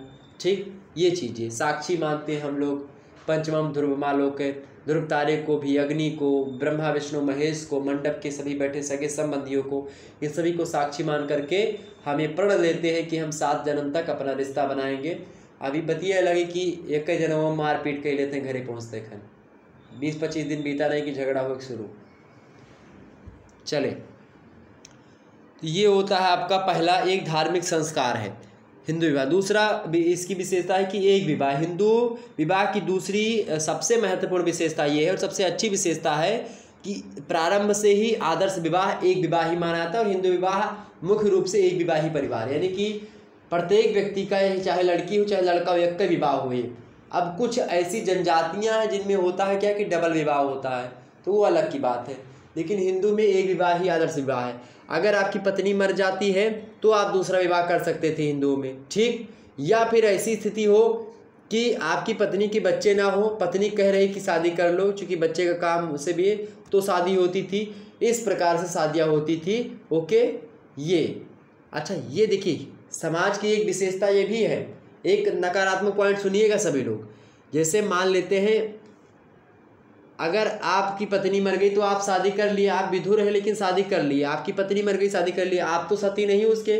और पहले, कुछ दिन पहले की बात है, कुछ बीच में। पहले शुरुआत में ऐसी व्यवस्था थी, लेकिन वो भी ख़त्म जो है, लोगों ने उसको मान्यता नहीं दी थी। और थी भी, वो प्रचलित भी रही थी, सती प्रथा तो स्त्री तो कूद जाए आपके साथ अग्नि में और आप काहे लिए नहीं कूद रहे, आपको कूद हो जाए ना। से नियमवा सबके लिए बराबर हो, चाहे स्त्री हो, चाहे पुरुष हो। कुछ नियम में अंतर होना चाहिए, स्त्री पुरुष में। हम ये नहीं कहते कि नर नारी एक समान, और ये कभी भी नहीं हो सकता। ठीक है? क्योंकि ऐसा सरकार ही नहीं कर रही है। ठीक? उसमें ऐसा नियम बना दिए जा रहे हैं कि आप स्त्री हो पुरुष हैं, वो तो हमेशा रहेगा। क्योंकि प्रकृति ने ही आपको अलग बना करके भेजा, हमको अलग बना करके भेजा है, लेकिन दोनों एक दूसरे के पूरक हैं। अलग होते हुए भी स्त्री और पुरुष एक दूसरे के पूरक हैं। बिना स्त्री के तालमेल, सामंजस्य, सहवास के माध्यम से सृष्टि आगे नहीं बढ़ सकती। ये सभी को पता है। तो ये तो ज़रूरी है भाई। तो ऐसे नियम जो कि समाज में ऐसे कि अगर स्त्री बताओ, आप मर गए तो आपके लिए वो भी अपने प्राणों का अदा कर दे। ऐसे, ये कौन सा नियम है भाई? बिल्कुल, ये खत्म हुआ, बहुत अच्छी बात। देखो, पुरुष का सुनो कि कूद पड़ा हुआ अपनी पत्नी की जो है चिता में? नहीं सुना होगा ना? तो स्त्री का लिए कूद है। ये विचारधारा दूसरी बात, नकारात्मक पॉइंट ये था, इसका ये कि स्त्रियों की बात की जाए, नकारात्मक स्थिति अच्छा स्त्रियों को देवी माना जाता था। लेकिन बीच में कुछ हुआ कि कुछ लोग आए जिन्होंने स्त्रियों को केवल भोग की वस्तु समझा, वो अलग की बात है। तो अलग अलग समय में स्थिति ही हिसाब से परिस्थिति के हिसाब से परिवर्तन होता रहता है और परिवर्तन ही प्रकृति का नियम है। और इसके हिसाब से जब भी परिवर्तन हो समाज में तो आपको उसमें आ, ऐसा नहीं कि आपको परिवर्तन आप रोक लेंगे परिवर्तन नहीं रोक लेंगे क्योंकि परिवर्तन जो होता है प्रकृति पर प्रदत्त होता है प्रकृति के द्वारा किया जाता है ठीक है? ये चीज़ समझिएगा। तो कुल मिलाकर के कुल मिलाकर के एक विवाह जो है हिंदू विवाह का परिवार है। अच्छा ये बात भी ध्यान रखिएगा और स्त्री को दूसरा विवाह, यानी विधवा विवाह नहीं होता था। विधवा अगर है, अगर मान लेते सती प्रथा जब बंद हुई, सती प्रथा के बाद में एक और समस्या उत्पन्न हुई, विधवा का समस्या उत्पन्न होगी विधवा की। अब विधवा की समस्या उत्पन्न हुई चुकी, अब विधवाएँ बढ़ने लगी तो लोग विधवाओं को देखते, सुबह देखो, अगर विधवा देख लो अरे अच्छा नहीं होता है। क्या लगा है विधवा में? हैं? वो भी तो एक स्त्री है। सफ़ेद साड़ी पहन ली है, बस इसी कारण से आप उसको देख लिए तो आपका सब अनफल होगा। ऐसा बिल्कुल भी नहीं है। ये एक रूढ़ी है एक प्रकार से एक मनोगणन चीज़ है तो इस पर आप विश्वास ना करें। ऐसी चीज़, चाहे हिंदू धर्म में हो, चाहे मुस्लिम धर्म में हो, सिख धर्म में, ईसाई धर्म में हो, थोड़ा समझ लीजिए। किसी भी धर्म में जो भी बुराई है, उसको एक्सेप्ट करो। नहीं एक्सेप्ट करोगे, आपके धर्म के फॉलोअर कम हो जाएँगे। ठीक, बुरी मत लगे मेरी बातें आपको। मैं किसी भी धर्म का एक प्रकार से ना बड़ाई कर रहा हूँ, ना बुराई कर रहा हूँ। ठीक है? हर धर्म में बुराइयाँ हैं। अपने धर्म की बुराइयों को पहचानो, दूसरे धर्म की बुराइयों को न टटोलो, उसके ऊपर टीका टिप्पणी ना करो। आपके धर्म में जो बुराइयाँ हैं, उनको ख़त्म करो, अच्छाइयों को लाओ। क्या हमारे धर्म में ऐसी चीज़ लाएँ जिससे अच्छा हो? आप ये ना करो कि जो कोर्ट कह रहा तो आप जो है, आप उसका विरोध करोगे। वो सोच समझ करके वहाँ पर पढ़े लिखे लोग कोर्ट में बैठे हैं। वो जो निर्णय लेंगे, वो सर्वसम्मति होनी चाहिए। उसके निर्णय के खिलाफ चाहे आप हिंदू हैं, चाहे मुस्लिम हैं, चाहे सिख हैं, चाहे ईसाई हैं, चाहे बौद्ध हैं, चाहे पारसी हैं, चाहे यहूदी हैं किसी भी धर्म के लोग हैं, आप कोर्ट से बड़े नहीं हैं। ठीक है? आप पर कोर्ट अधिकार जो देगा, ऐसा अच्छा कोर्ट भी धर्म को एक प्रकार से मतलब मान्यता देता है कि आप धर्म अपने हिसाब से करें, लेकिन धर्म में जो नकारात्मक पॉइंट है, उनको कोर्ट भी ख़त्म करना चाह रहा है। तो उसको आप एक्सेप्ट करो कि हाँ चूँकि पढ़े लिखे लोग वहाँ पर विभिन्न हिंदू धर्म के लोग भी, जज हैं, मुस्लिम धर्म के लोग हैं, बौद्ध, तमाम सारे धर्म के लोग बौद्ध जो है, जज बने हुए हैं तो वो लोग विचार विमर्श करते हैं, वकील लोग बहस करते हैं उस पर, अपनी अपनी बातें रखते हैं तो वो चीज़, वो लोग पढ़े लिखे समाज हैं तो वो लोग ज़्यादा विचारधारा, हम लोगों से ज़्यादा पढ़े लिखे, हम लोगों से ज़्यादा जानकार हैं कि क्या करेंगे अच्छा होगा तो ये चीज़ इसको एक्सेप्ट करना चाहिए ओके तो तीसरा चीज़ ये है तो विधवा पुनर्विवाह का जो जो है एक प्रकार से चीज़ें हुई, अच्छी बात है। तो भाई, अगर विधवा पुनर्विवाह भी हो, आज विवाह विच्छेद भी, हिंदुओं में विवाह विच्छेद नहीं था, विधवा विवाह नहीं था, सती प्रथा थी, इन सभी का अंत हुआ। क्यों अंत हुआ? क्योंकि ये सब नकारात्मक पॉइंट थे हिंदू विवाह के मतलब हिंदुओं के, ये चीज़। तीसरा चीज़ है अंतर विवाह अच्छा जब भी आप लिखिएगा कापी में, खुल करके लिखो। ये मत लिखना कि इसे कि प्रोफेसर की बुराई या टीचर की बुराई करनी है तो लगेगा कि प्रोफेसर में काफ़ी चक्कर है नंबर कम देगा। या नेता मंत्री की बुराई कर देंगे तो नंबर कम मिलेगा। ऐसा नहीं है। आलोचना करनी है तो खूब दबा करके करो। ठीक है? आलोचना में पीछे मत हटना। जो सत्य है, उसको मत छोड़ना। आलोचना में कभी पीछे मत हटना, लेकिन सत्यता को कभी मत छोड़ना मेरे प्यारे दोस्तों। सत्य पर अपने अडिग रहना, अपने धर्म पर अडिग रहना। धर्म माने क्या होता है? जो आपका कर्तव्य है, अपने कर्तव्य को, अपनी निष्ठा से बिना आलस्य के किए हुए, अपने कर्म निष्ठा को आप करते रहिएगा। वही आपका सर्वप्रथम धर्म होता है मेरे प्यारे दोस्तों, ये बात ध्यान रखिएगा। और ये जो सिखाता है, आप देखिएगा, कर्तव्य निष्ठा आप सीख सकते हो सनातन धर्म से। हनुमान जी, मकरंद ध्वज, दोनों एक बाप बेटे हैं। लेकिन जान भी जाते हैं कि हमारा लड़का ही है, पातालों की सुरक्षा करता है। लेकिन फिर भी आप देखिएगा कि कर्तव्य निष्ठा एक तो राम की कर्तव्य निष्ठा है हनुमान में, और एक अहिराम मही जो महिरावण है, उसकी कर्तव्य निष्ठा है मकरंद ध्वज के पास। वो कह रहा कि मैं अपने स्वामी का जो कर्तव्य है मेरे प्रति मैं कर्तव्य का निर्वहन करूँगा। पिताजी, आप अपने प्रभु के कर्तव्य का निर्वहन करें। आइए युद्ध करते और बाप बेटे युद्ध करते हैं। ये कर्तव्य निष्ठा। इसी प्रकार से आप हर एक क्षेत्र में जब भी आप हिंदू धर्म ग्रंथ उठाएँगे तो कर्तव्य निष्ठा की भावना हर में प्रेरित आपको मिलेगी। तो अंतर्विवाह हिंदुओं में क्या होता है? अपनी ही जातियों में विवाह होता है और अपनी जाति से विवाह करना, बाहर मतलब विवाह करना सही नहीं माना जाता। ये एक विशेषता और चौथी विशेषता है सगोत्र, सप्रवर और सपिंड बहिर्विवाह। यानी कि सगोत्र में अगर गोत्र आपका एक ही है तो विवाह नहीं होगा। ठीक है, आपका पिंड एक ही है, विवाह नहीं होगा। आपका प्रवर एक ही है, विवाह नहीं होगा। आपका एक प्रकार समझ लीजिए, सपिंड, सप्रवर, सगोत्र। यानी जैसे मान लेते हैं विवाह में आपका गोत्र गोत्र समझते हैं। गोत्र होता है तो गोत्र अगर आपका सेम है, जैसे मेरा गोत्र आपका पड़े, मेरा गोत्र पड़ेगा गर्ग गर्ग गोत्र। तो गर्ग गोत्र की लड़की के साथ मेरे विवाह नहीं होगा, ठीक? तो इसी प्रकार से जो भी गोत्र जिसका हो जाए, गर्ग गौतम, किसका गौतम है तो गौतम का जो है, इस प्रकार से क्या होता है, गोत्र, सगोत्रीय विवाह हिंदुओं में नहीं होता, ठीक? ना तो सा पिंड होता है, इसी प्रकार से सा प्रवर विवाह भी नहीं होता तो ये सब एक प्रकार चीज़ें होती हैं, ठीक है? आगे समझते हैं। अगला प्रश्न आप देखिएगा। अगला प्रश्न भारत में जनसंख्या वृद्धि के दो कारण और दो परिणाम लिखिए। जनसंख्या वृद्धि के दो कारण और दो परिणाम लिखिए, बढ़िया प्रश्न है। तो भाई, जनसंख्या वृद्धि का पहला कारण तो ये है भारत में कि गर्म जलवायु है भारत की। कुछ लोगों ने गर्म जलवायु को भी जनसंख्या वृद्धि का कारण बताया है और गर्म जलवायु के कारण आप देखिएगा, छोटी उम्र में परिपक्वता आती है। और प्रजनन अवधि लंबी हो जाती है। शुरुआत से ही प्रजनन करने की इच्छा व्यक्तियों के अंदर बनने लगती है। इससे जनसंख्या वृद्धि में सहायता मिलती कहीं ना कहीं पे।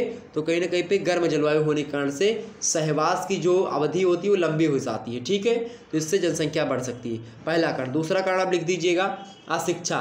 यानी भारत की बात की तो भारत में अशिक्षा बहुत ज़्यादा है और जनसंख्या वृद्धि के कारण सबसे महत्वपूर्ण तो अशिक्षा ही है।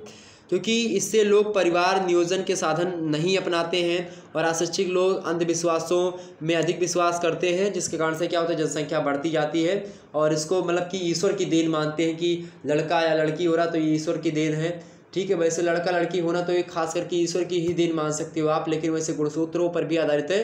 लेकिन कभी कभी क्या होता है कि विज्ञान भी चकित रह जाता है और, जो है प्रकृति बाजी मार ले जाता है प्रभु बाजी मार ले जाते हैं। तो कहीं ना कहीं पे ये चीज़ तो ठीक ही है, कुछ विश्वास ज़रूरी है, बहुत विश्वास करना एकदम से अंधविश्वास करना ज़रूरी नहीं है, लेकिन भगवान को छोड़कर आप जाएँगे कहाँ? ये विज्ञान चंद का है, बहुत कम समय के लिए क्षणिक है, लेकिन वो दीर्घकालिक है मेरे प्यार दोस्तों। ईश्वर दीर्घकालिक है, आध्यात्म दीर्घकालिक है, विज्ञान अल्पकालिक है क्षण है, नष्ट हो जाएगा। अध्यात्म नष्ट नहीं ईश्वर नष्ट नहीं होगा। नाम अमर है, कीर्ति स्तंभ अमर है। आप नष्ट हो जाएँगे, आत्मा अजर अमर और अविनाशी है। नयनम छिदंत शस्त्राणी नयनम दहति कहा न चयनम क्लेदयंती आपो, न शोषयत मारुता। ओके? आगे समझते हैं। तो इस प्रकार चीज़ें होती हैं। तो ये हो गए दो कारण। अब दो परिणाम सुनो जनसंख्या बढ़ने के। पहला परिणाम ये होगा कि रहन सहन का निम्न स्तर हो जाएगा। और दूसरा परिणाम ये होगा कि जन समस्या मतलब कि जो समस्या होगी उनमें वृद्धि हो जाएगी। जनसंख्या बढ़ने से क्या होता है? आप देखिएगा, आर्थिक समस्याएँ बहुत ज़्यादा हो जाती हैं।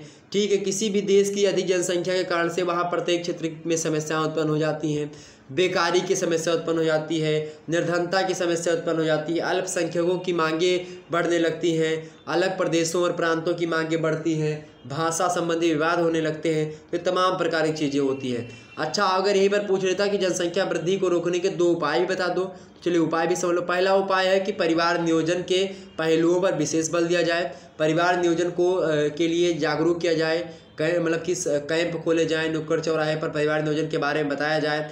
परिवार नियोजन, हर एक मार्केट की जो दुकान है या फिर जो गाँव की दुकान सब पर उपलब्ध करवाया जाए, जो तमाम प्रकार के जो निरोधक गोलियाँ हैं या फिर जो निरोध वगैरह, तमाम प्रकार की चीज़ें जो हैं, जिससे क्या होता है, जनसंख्या वृद्धि हम, रुक सकती है, उसको हर एक दुकानों पर उपलब्ध करवाया जाए। इसके अलावा दूसरी चीज़ ये है कि शिक्षा का प्रसार। शिक्षा का प्रसार क्या मतलब? शिक्षा का प्रसार, जितना ज़्यादा शिक्षित होंगे लोग, उतने ज़्यादा क्या होगा? परिवार नियोजन के लोग मतलब के प्रति लोग ज़्यादा जागरूक होंगे और इसके कारण से क्या होगा? जनसंख्या वृद्धि को हम रोक पाएँगे। तो जनसंख्या वृद्धि के कारण बताया हमने, परिणाम बताया और उसके उपाय बता दिए। ओके, क्लियर हो गई बातें? आगे समझते हैं। अगला प्रश्न आपके समक्ष आ चुका है, राष्ट्रीय एकीकरण की अवधारणा क्या है? राष्ट्रीय एकीकरण की अवधारणा क्या है भाई? फटाफट से बताने का प्रयास करिएगा। राष्ट्रीय एकीकरण की अगर बात की जाए तो राजनीतिक तथा प्रशासनिक दृष्टि से एक सत्ता के अंतर्गत कई छोटी छोटी राज्यों के बंध जाने, सामाजिक, सांस्कृतिक दृष्टि से एक ही प्रकार की सांस्कृतिक रीति रिवाज का पालन करने या फिर एक भाषा, तीज त्यौहार आदि के प्रभावित होने तथा मानसिक दृष्टि से सभी लोगों में एकता की भावना उत्पन्न होने के रूप में राष्ट्रीय एकीकरण कहलाता है। कहने का मतलब ये है कि राष्ट्र में सब एक जैसा हो। सभी लोग एक दूसरे में परस्पर क्या हो? अन्योनाश्रित का संबंध रखते हो। सभी लोग आपस में क्या रखते हो कि हाँ छोटे छोटे राज्य मिल करके एक बड़े देश का निर्माण करें और सभी देश आपस में, सभी राज्य आपस में जुड़े हुए हों, अपने देश के प्रति समर्पित हों, ये होता है आपका राष्ट्रीय एकीकरण। वैसे राष्ट्रीय एकीकरण की परिभाषा को देते हुए डॉक्टर संपूर्णानंद कहते हैं कि राष्ट्रीय एकीकरण एक मनोवैज्ञानिक तथा शैक्षिक प्रक्रिया है। मन में जनसाधारण के प्रति एकता, पारस्परिक निर्भरता, सामान्य नागरिकता की भावना, राष्ट्र के प्रति भक्ति भावना सन्निहित है। ये राष्ट्रीय एकीकरण की परिभाषा दी किसने? डॉक्टर संपूर्णानंद ने। राष्ट्रीय एकीकरण में मुख्य रूप से आप देखिएगा, कई सारी बाधाएँ जैसे कि भाषावाद इसमें बाधा उत्पन्न करता है। तो आपसे पूछता कि भारत में राष्ट्रीय एकीकरण में जो मतलब कि कौन सी बाधाएँ उत्पन्न होती लिखिए। तो भाषावाद पहली विशेषता, दूसरी सांप्रदायिकता, तीसरी विशेष, तीसरी बाधा कौन सी है? जातीयता और चौथी क्षेत्रीयता, यानी क्षेत्रवाद, ठीक है? जातिवाद, इसके अलावा या संप्रदायवाद और भाषावाद। ये चार पहलू हैं जिसके कारण से क्या होता है? राष्ट्रीय एकता में बाधा उत्पन्न होती है। ओके, क्लियर होगी बातें? आगे समझते हैं। अगला प्रश्न देखिएगा, नौवा नंबर प्रश्न आपके समक्ष नक्सलवाद क्या है? नक्सलवाद क्या है भाई? ये बढ़िया प्रश्न है। नक्सलवाद की अगर हम बात करें तो नक्सलवादी आतंकवाद का आशय है और नक्सलवादी प्रकार से आतंकवाद से की श्रेणी में ले आता है। लेकिन आप देखिएगा मौ से तुंग के क्रांतिकारी लोग जो हिंसक हैं, उन्हीं के, जो है, कहीं ना कहीं वामपंथी दर्शन से प्रेरित लोग हैं, जो कि आतंकवाद जो अपना लक्ष्य बताता है। यह सामाजिक, आर्थिक न्याय पर आधारित व्यवस्था की स्थापना करना होता है। तो कहीं ना कहीं पे ये क्या करता है? आर्थिक और सामाजिक न्याय पर आधारित व्यवस्था की स्थापना करने के लिए जो है, ये लोग आपस में जो है, सरकार के नियमों को नहीं मानते हैं, सरकार के नियमों के खिलाफ जाते हैं। नक्सलवाद यही होता है। नक्सलवाद से आप देखिएगा जैसे कि बिहार में आप नक्सली को देखेंगे, नक्सलवाद को, बंगाल में भी, आंध्र प्रदेश में, छत्तीसगढ़, इन सभी राज्यों में आप नक्सलियों को देख सकते हैं। तो ये नक्सलवाद हो गया। नौवा, दसवां प्रश्न आपके समक्ष धर्म के प्रचार मतलब धर्म के चार प्रकार अथवा महत्व बताइए। धर्म के चार प्रकार अथवा महत्व।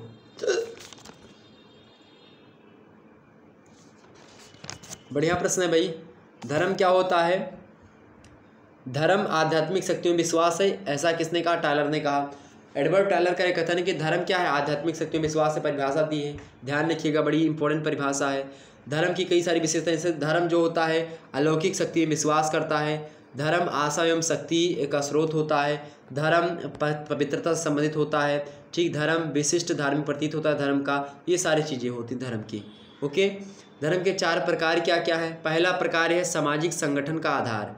धर्म क्या होता है? धर्म का पहला महत्व या प्रकार ये है कि सामाजिक संगठन जो होता है, धर्म के द्वारा ही होता है। समाज में जो संगठन का निर्माण होता है, जैसे हिंदू लोग आपस में इकट्ठा होते हैं कि इसका कारण क्या है कि हिंदू की में एकता हो जाती है, मुस्लिमों में एकता हो जाती है, सिखों में आपसी एकता। तो ये सब संगठन में बना लेते हैं। क्यों? चूँकि ये धर्म एक ही धर्म के हैं। तो सामाजिक संगठन का आधार निर्माण करने का काम कौन करता है? धर्म करता है, पहला महत्व। दूसरा महत्व आप लिखिएगा सामाजिक नियंत्रण का साधन है धर्म। अच्छा आप कोई कोई व्यक्ति धर्म, गलत काम कर रहा हो तो अगर आप उसको बताएँगे कि अगर आप ये कर्म करोगे तो आपको गलत दंड मतलब कि गलत कार्य होगा। इसीलिए आप देखिएगा, हिंदुओं में नरक की जो है अवधारणा नरक का दर्शन बताएगा, नरक। यानी कि अगर आप गलत काम करोगे तो आपको नरक मिलेगा, और नरक का भी कैटेगरी कई प्रकार से किया गया है कि जिस प्रकार से आपके कर्म होगा, उसी प्रकार से आपको नरक भी दिया जाएगा। कई प्रकार के नरक के बारे में बताया गया है, ठीक है? उसमें कुंभी पाक नरक हो जाता है। इसी प्रकार से और भी तमाम प्रकार के नरक हैं जिसके प्रकार बताए गए हैं। तो ये होते तो दूसरा क्या होता है भाई? दूसरा को तो सामाजिक नियंत्रण। यानी समाज में अगर आपको गलत कर्म जो व्यक्ति कर रहे हैं, उनको करने से रोकना है तो कहीं ना कहीं पे धर्म का सहारा लेना पड़ता है। सामाजिक नियंत्रण में यानी सोशल कंट्रोल में सहायता प्रदान करता है कौन? धर्म। ठीक?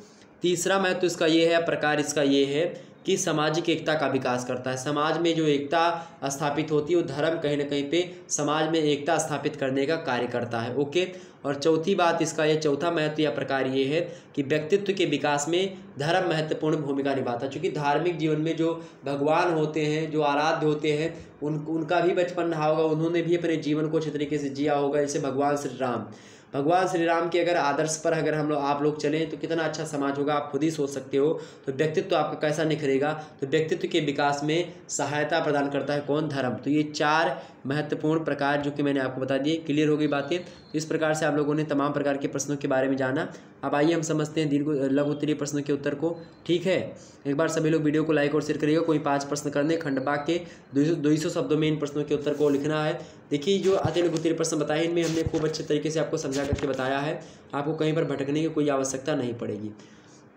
पहला प्रश्न आपके समक्ष आ चुका कस्बे की विशेषताएँ या निर्धारक क्या है? बताएँ। कस्बे की विशेषता क्या है? फटाफट से बताएँ। पहली विशेषता, वे सभी स्थान कस्बे कहे जाएँगे, जिनमें क्या होता है? वे सभी स्थान कस्बे कहे जाएँगे, मेरे प्यारे दोस्तों, जिनमें क्या होता है? जिनमें क्या होता है? नगर पालिका होती है, जिनमें नगर निगम होता है, जिनमें छावनियाँ होती है नोटिफाइड नगर होते हैं तो वो क्षेत्र क्या होते हैं? वो क्षेत्र कस्बे कहे जाएँगे। दूसरी विशेषता कस्बे की जहाँ की न्यूनतम जनसंख्या कितनी हो? पाँच हज़ार हो।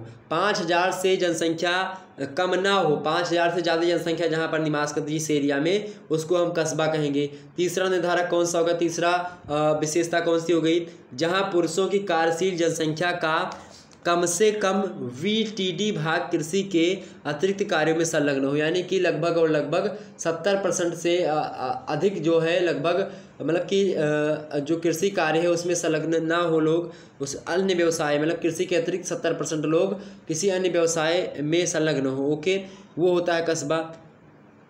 चौथा आप देखिएगा, चौथी इसकी विशेषता या निर्धारक तत्व कस्बे का।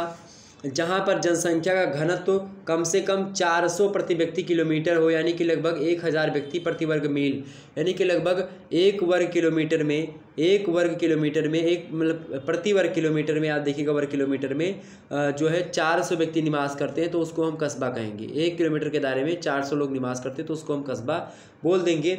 और इसी प्रकार से पूरे के पूरे कस्बे में पाँच हज़ार लोगों का रहना आवश्यक है, ठीक? इसके अलावा पाँचवीं विशेषता या निर्धारित तो ये हो गया कि कहीं ना कहीं पे अन्य कोई स्थान जो उपयुक्त विशेषताओं में सीमावर्ती होता है, प्रांतीय जनगणना अधिकारी के अनुसार स्पष्ट नगरीय सुविधाएँ एवं विशेषताएँ रखता होता, रखता हो तो उसको हम कस्बा बोल देते हैं, ये बात भी ध्यान रखिए। तो कस्बे के बारे में चीज़ें हो गई, क्लियर हो गई बातें, आगे समझते हैं। तीसरा प्रश्न आपकी स्क्रीन पर आ चुका है, ग्रामीण और नगरीय जीवन में क्या अंतर? अच्छा गाँव और नगर के बीच का होता है कस्बा, ओके? ये बात ध्यान रखिएगा। प्रश्न आपके समक्ष आ चुका कि ग्रामीण जीवन और नगरीय जीवन में क्या अंतर है? पहला अंतर लिखो भैया, पहला अंतर है, ग्रामीण जीवन में एक रूपता अधिक दिखाई देती है, जबकि नगरीय जीवन में एक रूपता का अभाव यानी कि कमी होती है। दूसरा अंतर लिखिएगा, ग्रामीण जीवन पर पर्यावरण प्रदूषण का अभाव ना के बराबर होता है, क्योंकि ग्रामों की जनसंख्या, नगरों की अपेक्षा क्या होती? है कम होती है, नहीं, पर्यावरण प्रदूषण गाँव में कम होता है। और नगरों में ही प्रदूषण क्या होता है? ज़्यादा होता है। नगरीय जीवन पर पर्यावरण का प्रदूषण का बहुत अच्छा अधिक प्रभाव पड़ता है, क्योंकि नगरों में क्या होता है? जनसंख्या ज़्यादा होती है पेड़ पौधे कम होते हैं गाड़ी मोटर ज़्यादा चलते हैं। ठीक है? तीसरा अंतर आप लिख लीजिएगा, ग्रामीण जीवन का संबंध मुख्य रूप से कृषि और लघु और कुटीर उद्योगों से होता है, जबकि नगरों का जो जीवन होता है, उनका संबंध व्यापार से होता है, पेशा से होता है, नौकरी से होता है, बड़े पैमानों पर जो उद्योग होते हैं, उनसे होता है। ठीक, चौथा अंतर लिखिएगा सभी लोग, ग्रामों में व्यक्ति की सामाजिक, जो होती है, प्रतिष्ठा जन्म पर आधारित होती है कि जन्म से ही व्यक्ति सामाजिक प्रतिष्ठित है। किसी प्रतिष्ठित व्यक्ति के यहाँ पैदा हुआ तो प्रतिष्ठित गाँव में है। लेकिन नगरों में क्या होता है? सामाजिक प्रतिष्ठा जन्म पर आधारित नहीं होती है। आपकी योग्यता, व्यक्तिगत गुणों, आपकी जो पर्सनल या फिर क्वालिटीज़ होती है पर्सनल उस क्वालिटीज़ पर इंडिविजुअल जो एक प्रकार से कहीं ना कहीं पे जो क्वालिटीज़ होती है प्रॉपर्टीज़ होती हैं, उन पर डिपेंड करती है। आपका खुद का बनाया हुई योग्यता, आपकी खुद का व्यक्तित्व, उस पर डिपेंड करता है कि आपको कितना प्रतिष्ठा मिलेगी समाज में। पांचवा अंतर इन दोनों में ये है कि ग्रामीण जीवन अपेक्षाकृत कम खुशहाल होता है, क्योंकि ग्रामवासी संयुक्त परिवार अधिक पसंद करते हैं, जिसके कारण से इनके परिवार का आकार क्या होता है? बड़ा होता है। नगरीय जीवन अपेक्षाकृत अधिक खुशहाल इसलिए होता है, क्योंकि नगरों के लोग एकाकी परिवार, यानी केंद्रीय परिवार में निवास करते हैं और इसलिए अधिक पसंद करते हैं ये लोग, और कहीं ना कहीं पे खुशहाल भी रहते हैं, जिसके कारण से इनके परिवार का आकार छोटा होता है। और छोटा परिवार, खुशी परिवार, ये आप टैग लाइन भी आप लोगों ने सुना होगा। ठीक? लेकिन छोटा परिवार क्या हो, आपका दुई थपरा कौन कड़ा पड़ाक पड़ा कन्फर्टिव मारिस तो आप क्या करबो आपका भाई हुआ अगर, आपके पापा होते जुड़ते वो गढ़ते। बाप पुलिस में जाओगे, दुनिया भर का इधर उधर करोगे मतलब बहुत ज़्यादा दौड़ना धूपना पड़ेगा। वैसे अब तो पुलिस बड़ा आसान हो चुका है, एक सौ बारह मिला तुरंत पुलिस आ जाएगी। तो ये चीज़ तो बढ़िया हो चुकी है, सरकार के द्वारा नीतियाँ अच्छी लाई गई। ठीक? तो ये बात ध्यान रखिएगा कि वैसे ये सपा सरकार में ही सौ नंबर आ गया था, एक सौ बारह आकर के योगी जी, बाबा ने किया है। ठीक? चलिए।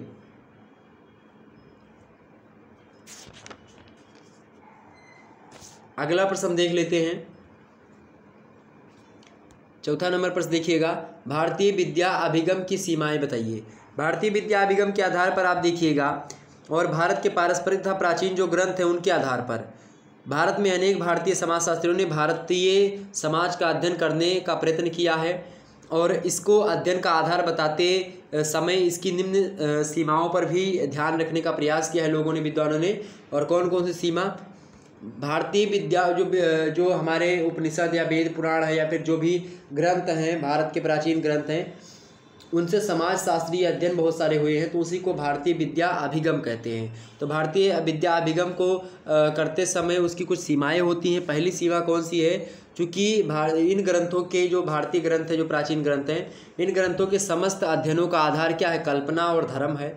इसके फलस्वरूप इसमें वैज्ञानिक तथ्यों का पूर्ण अभाव होता है। ठीक ये बात तो इसको ध्यान रखना चाहिए कि इसमें अगर वैज्ञानिकता के साथ हमको करना है तो कुछ अभाव होगा जो कि पूर्ण व्याख्या नहीं करेगा। दूसरी बात ये कि वैदिक काल से लेकर के स्मृति काल तक के समस्त ग्रंथों का आधार धार्मिक है, न कि सामाजिक और सामाजिक आधार के अभाव में इन ग्रंथों को समाजशास्त्रीय अध्ययनों के आधार के रूप में नहीं लिया जा सकता, ये भी बात ध्यान रखिए तो यानी वैदिक काल से लेकर के स्मृति काल तक हम समाज के अध्ययन में नहीं ले सकते। तीसरी सीमा इसकी ये बताई गई विद्वानों के द्वारा कि प्राचीन भारत में उपलब्ध समस्त सामाजिक व्यवस्थाओं में किसी न किसी वर्ग विशेष का प्रभुत्व रहा है। उदाहरण के लिए जैसे वर्ण व्यवस्था में ब्राह्मणों का प्रभुत्व रहा है। अतः इन ग्रंथों में प्रभुत्व वर्ग के प्रति झुकाव का पाया जाना सर्व स्वाभाविक रहेगा और इस प्रकार के पक्षपाती ग्रंथों के आधार पर समाजशास्त्री निष्कर्ष नहीं निकाले जा सकते तो ये भी ध्यान देने योग्य बात है। चौथी ध्यान देने योग्य बात यह है कि इन ग्रंथों में परस्पर एक रूपता भी नहीं पाई जाती है। विभिन्न ग्रंथ परस्पर विरोधी विचार भी प्रस्तुत करते हैं। उदाहरण के लिए जाति की उत्पत्ति को लेकर के विभिन्न धर्म ग्रंथों में विरोध की भावना उत्पन्न होती है। तो इस प्रकार से ऐसे परस्पर विरोधी अध्ययनों को समाजशास्त्रीय आधार के रूप में नहीं लिया जा सकता है।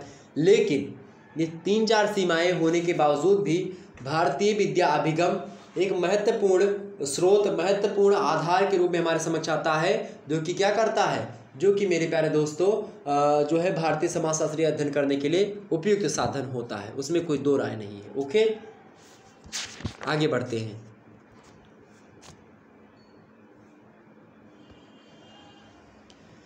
अगला प्रश्न आ चुका है, पांचवा नंबर पर देखिए, डॉक्टर गुहा ने जनजातियों का भौगोलिक वर्णन किस प्रकार किया? प्रश्न बड़ा ही अच्छा है, प्रश्न बड़ा अच्छा है।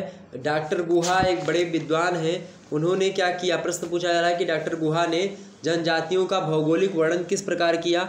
डॉक्टर बी एस गुहा की अगर बात की है तो उन्होंने भौगोलिक आधार पर भारतीय जनजातियों को तीन मुख्य क्षेत्रों में बांटा, ठीक है, विभाजित किया गया है। मजूमदार और मदान ने भी बी एस गुहा द्वारा दिए गई इसी वर्गीकरण से जो है संतुष्टि जताई है। तो मजूमदार और मदान जो कि डॉक्टर बी एस गुहा के समर्थन में है तो उन तीन प्रकार की चीज़ें हैं जो कि मैंने आपको बता, मैं आपको बता रहा हूँ।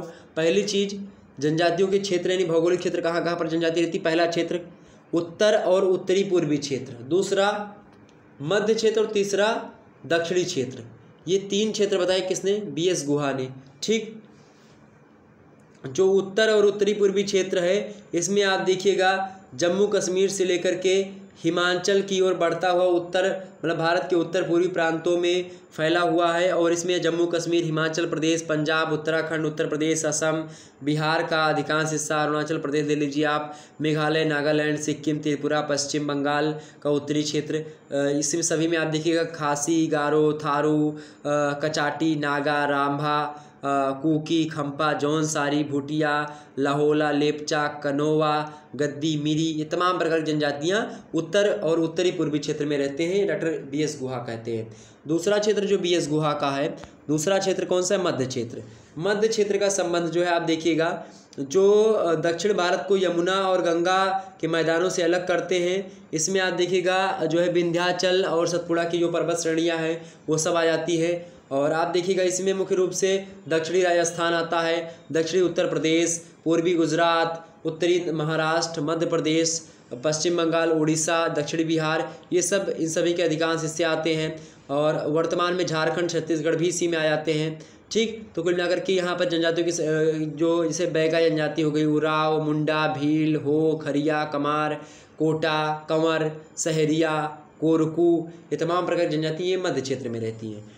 तीसरा जो क्षेत्र है जनजातियों का वो कौन सा? दक्षिणी क्षेत्र है। डॉक्टर गुहा के अनुसार कृष्णा नदी के दक्षिण में स्थित भारत का संपूर्ण क्षेत्र इसी के अंतर्गत आता है और यह क्षेत्र भारत के दक्षिणी पश्चिमी भागों के पहाड़ी जो हिस्से हैं, उससे लेकर के पूर्वी तथा पश्चिमी घाटों तक फैला हुआ है और वर्तमान राज्यों में आप देखिएगा तो कर्नाटक हो गया आंध्र प्रदेश हो गया, तमिलनाडु हो गया अपना, केरल हो गया, महाराष्ट्र हो गया, ओडिशा हो गया, ओडिशा का दक्षिण भाग खास करके ये सब जो होते हैं इन क्षेत्रों में आते हैं। और इसमें आप देखिए, टोंडा जनजाति हो गई, बड़गा जनजाति, कोटा जनजाति, कादर जनजाति, पनियन जनजाति कुसुम्ब जनजाति, उराली जनजाति, पुलयन जनजाति और इसके अलावा यरूब जनजाति, चेंचू जनजाति, इरुला जनजाति, ये तमाम प्रकार की जनजाति निवास करती है। और गुहा ने अंडमान निकोबार द्वीप समूह की जनजातियों को भी इसी वर्ग में सम्मिलित किया है और इस द्वीप समूह में छोटी छोटी जनजातियाँ, बहुत सी जनजातियाँ रहती हैं, ठीक है, अंडमान निकोबार में। तो इस प्रकार से डॉक्टर बी एस गुहा ने भौगोलिक वर्णन किया जनजातियों का।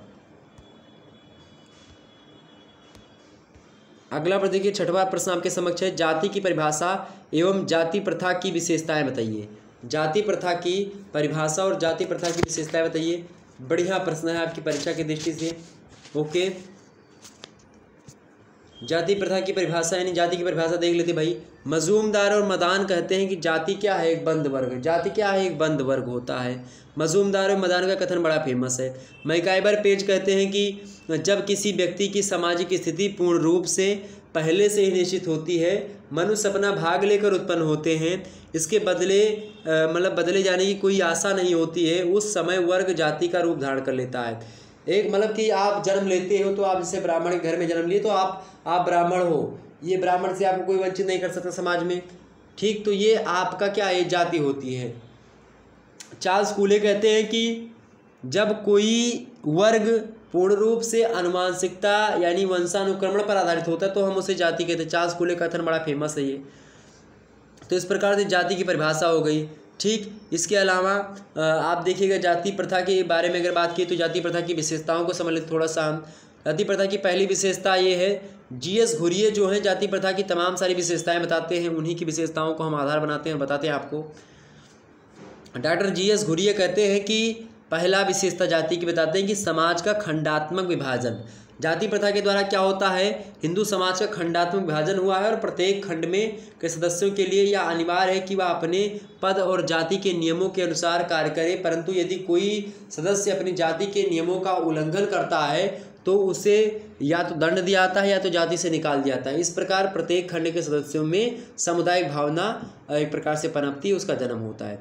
दूसरी विशेषता सोपान तंत्र या संस्करण, यानी कि भारतीय हिंदू सांस्कृतिक या सामाजिक स्तरीकरण मुख्यतः देखिए जाति पर आधारित रहा है। हिंदू जाति के विभिन्न खंडों में ऊंच नीच का एक प्रकार से संस्करण यानी कि स्तरीकरण रहा है, उतार चढ़ाव रहा है। संस्करण या सोपान क्रम में सर्वोच्च स्थिति किसकी रही? ब्राह्मणों की, दूसरी स्थिति रही क्षत्रियों की, तीसरी स्थिति रही वैश्यों की और चौथी स्थिति रही शूद्रों की। तो इस प्रकार हिंदू जाति व्यवस्था में ऊंच नीच पर आधारित एक सीढ़ी सी दिखाई पड़ती है और इसी को हम सोपान तंत्र या फिर संस्करण कहते हैं। ये होता है आपका जी एस ने कहा कि संस्था, जो है सोपान तंत्र या संस्करण जो होता है, ये जाति प्रथा की दूसरी विशेषता। तीसरी विशेषता जो है, जी एस गुरिये बताते हैं, खान पान तथा सामाजिक सहवासों पर क्या होता है? सामाजिक सहवासों पर भी क्या होता है भाई? सामाजिक सहवासों पर भी रोक होता है। आप देखिएगा, जो है जैसे कि ब्राह्मण, आप देखिएगा, जो है ब्राह्मणों के हाथ का बना भोजन सभी जातियाँ खा लेती हैं, लेकिन ब्राह्मण जो होता है, अन्य जातियों का बना हुआ खाना नहीं खाता है। ये सब चीज़ें, ओके? और आप देखिएगा, जो है, जल ग्रहण करने तथा कच्चे पके भोजन के संबंध में भी छुआछूत बरती जाती है। ब्राह्मणों में छुआछूत सबसे अधिक बरती जाती है। कुछ कान्यकुब्ज ब्राह्मण तो स्वयं के हाथ का बना भोजन ही खाते हैं। तो ये तमाम प्रकार की चीज़ें होती हैं। तो जैसे कि क्या होता था पहले के समाजों में कि पूजा पाठ करना रहता था ब्राह्मणों को। इसके अलावा मैं ब्राह्मणों का बचाव नहीं कर रहा हूँ। एक तो आपको बेब बता रहा हूँ कि ऐसा रहा होगा। लेकिन जातिवाद जो है या फिर किसी के हाथ को बना, अगर कोई व्यक्ति, चाहे वो शूद्र हो, चाहे वो वैश्य हो, चाहे क्षत्रिय हो, चाहे ब्राह्मण हो, अगर वो साफ़ सुथरा खाना बनाए तो आपको खाना चाहिए। बिल्कुल खाना चाहिए, इसमें कोई दो राय नहीं है। साफ़ सुथरा बनाए, बसरते। अच्छा ब्राह्मण लोगों को ये भी भय होता था कि कहीं ऐसा ना हो कि ये कुछ दूसरा गड़बड़ करके दे दे, या फिर ये एक प्रकार से अच्छा नहीं दिखता है, इसके कारण से ना खाते हो, या कई प्रकार की स्थितियाँ रही होंगी। ठीक है? कि या बेचारे, वैसे परेशान हैं, इनके हाथों का बना हुआ खाना क्यों खाए? या छुआछू जैसी व्यवस्था तो रही थी समाज में इसको कोई मना ही नहीं कर सकता। कुछ ब्राह्मण लोग ऐसे थे जो कि पर छुआछूत के चलते किसी को घाट में, अरे घाट में पानी भरने से क्या होता है भाई? ये बताओ आप। तो छुआछूत, अगर आप साफ़ सुथरा रहोगे, आज के समाज में आप देखिए, सब ब्राह्मण क्षत्रिय सब एक साथ खा रहे हैं, क्या दिक्कत है? सब एकदम से समाज समाप्त हो चुका है। एक घाट और पानी क्या पीना? वैसे तमाम प्रकार की चीज़ें थी कि एक घाट में पानी नहीं पी सकते तो अब एक घाट में पानी पियो, चाहे अपने घर में नल लगवा लो, कोई दिक्कत नहीं है।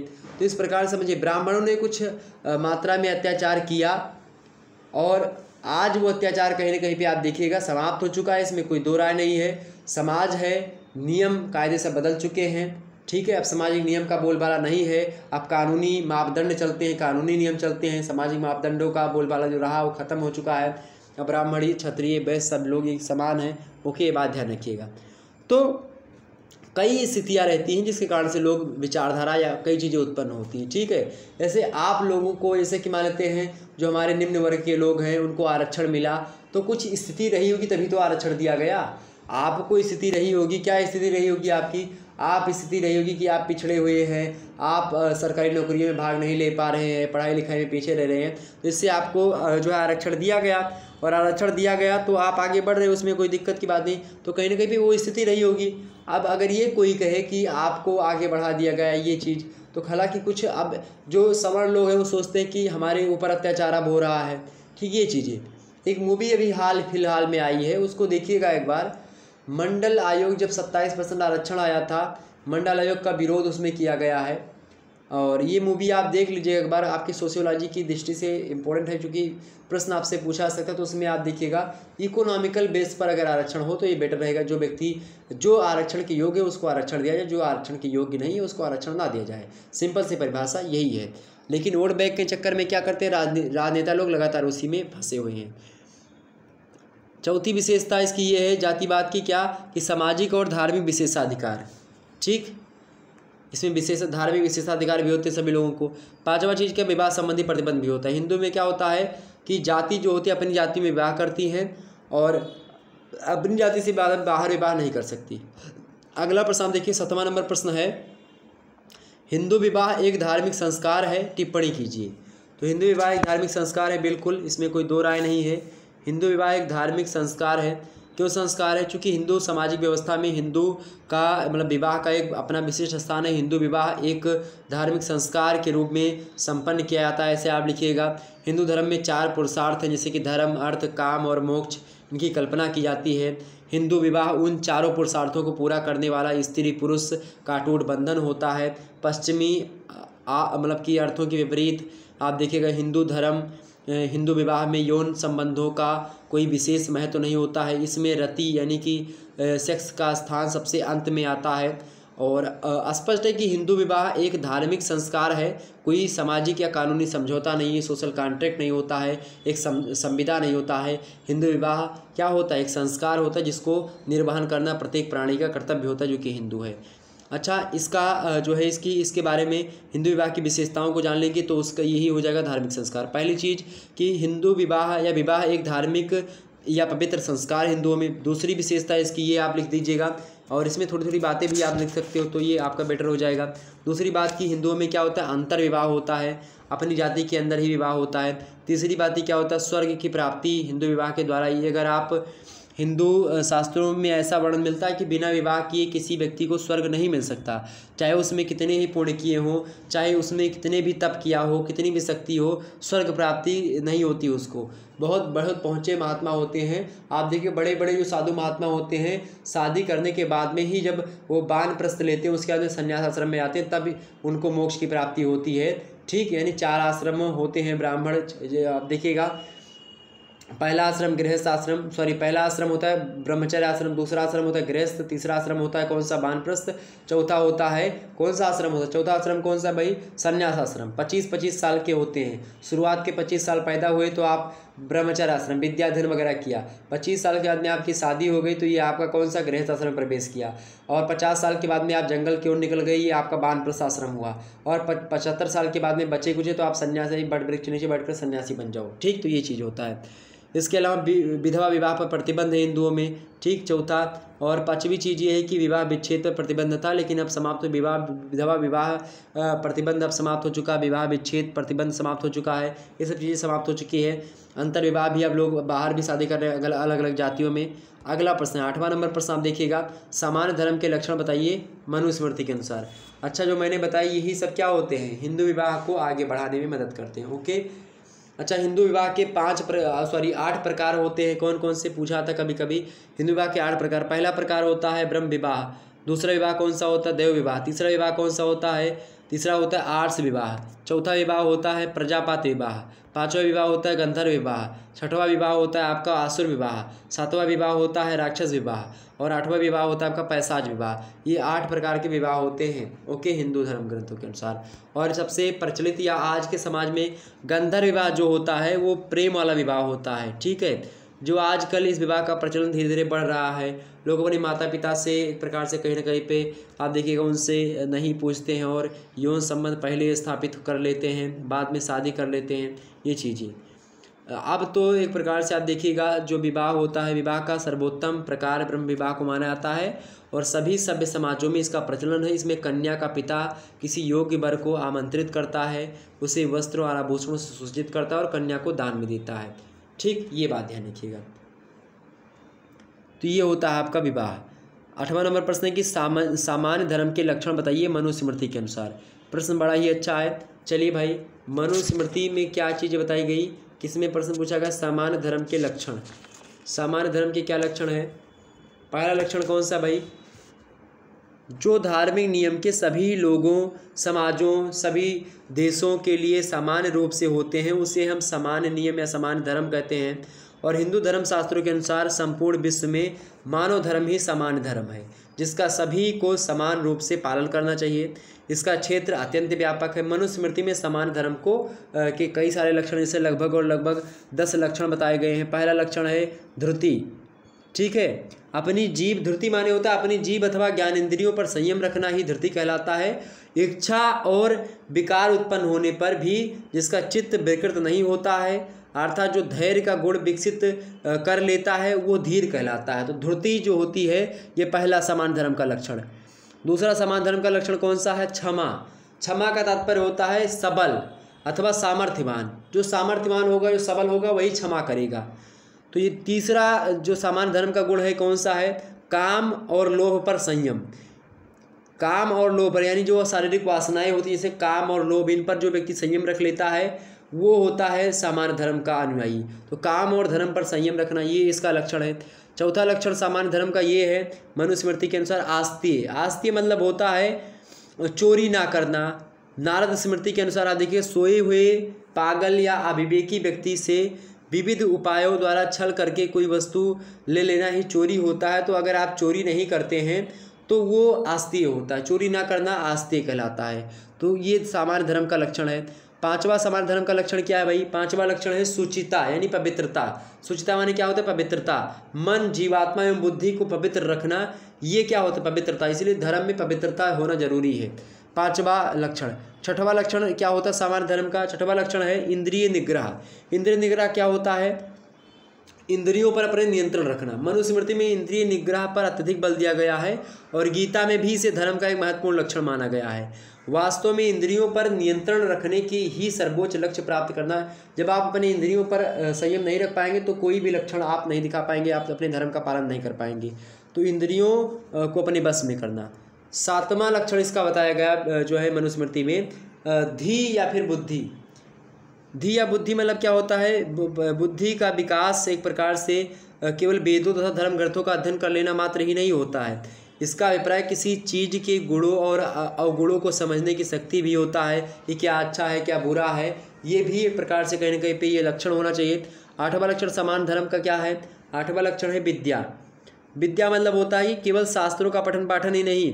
काम, क्रोध, मद, लोभ, मोह, क्षुद्र, प्रवृत्ति, इन सभी से छुटकारा पाना, ये सब विद्या होती है, ओके? ये भी इसका एक लक्षण है। नौवां लक्षण क्या है इसका? नौवां लक्षण है सत्य। सत्य जो होता है इससे तात्पर्य केवल सत्य बोलने से ही नहीं होता कि आप सही सही बोल दो। इसका मतलब होता है जो सभी प्राणियों हेतु कल्याणकारी हो, जो सभी के लिए कल्याणकारी है, वही सत्य है। सभी कल्याणकारी मात्र प्रभु है। मृत्यु सत्य है। सभी की होती है। ठीक? तो सत्य क्या है? जो सभी प्राणियों के लिए कल्याणकारी हो सत्य है। और यही सत्य होता है और इसी सत्य का पालन करना सामान्य धर्म सिखाता है। दसवा मनुस्मृति में बताएगा क्या? सभी लोग मनुस्मृति की बुराई करते हैं, जैन लोग, बौद्ध लोग बुराई करते हैं। भैया, आप लोगों का जो ग्रंथ बना हुआ है पिटक वगैरह, या फिर जो कुछ भी बना हुआ है, या फिर जो भी धर्म आज ज्ञान बता रहे हैं दुनिया वालों को, उन सभी धर्मों को ज्ञान देने वाला मात्र एक सनातन धर्म ही है। ये बात आप कभी भी टाल नहीं सकते हो। सभी का आधार जैन धर्म का, बौद्ध धर्म का सिख का या इसी प्रकार से जो भी धर्म है, ईसाई, मुस्लिम सभी प्रकार के धर्मों का जो कहीं ना कहीं पे जो प्राचीन जो ज्ञान है, वो कहीं ना कहीं पे सनातन ही है, ओके? और दसवां जो लक्षण है, इसका कौन सा है? अक्रोध। क्रोध जो होता है, आप देखिएगा, क्रोध सभी अवगुणों का आधार होता है, क्योंकि क्रोध की स्थिति में मानव की समस्त इंद्रियाँ उस पर अपना आधिपत्य जमा लेती हैं, और क्रोध जो होता है, एक प्रकार से आपके बुद्धि रूपी सूरज को ढक लेता है तो क्रोध रूपी बादल, बुद्धि रूपी सूरज को ढक लेता है, ये किसमें बताया गया? गीता का ज्ञान है ये, ओके? ये बात ध्यान रखिएगा। और इसी कारण से आप देखिए, क्रोध जो व्यक्ति, आप देखिएगा, अहंकार, क्रोध जो होता है, रावण को था, विनाश हो गया। कितना रावण पंडित विज्ञानी था, अपने ज़माने का वैज्ञानिक था, अपने ज़माने का बहुत बड़ा पंडित था रावण, ओके? बहुत ज़्यादा ज्ञानी था, लेकिन क्या हुआ? अहंकार हो गया, सर्वनाश हो गया उसका। ठीक है? तो ये होता है तो आक्रोध करना सीखो यानी कि क्रोध ना हो आपके अंदर। तो इस प्रकार से आप देखिएगा ये चीज़ हो गई। ओके? ये दस लक्षण हैं समान धर्म के। नौवा प्रश्न आपके समझ संयुक्त परिवार को विघटित एवं परिवर्तित करने वाले आ, कौन कौन से कारक हैं? संयुक्त परिवार को विघटित करने वाले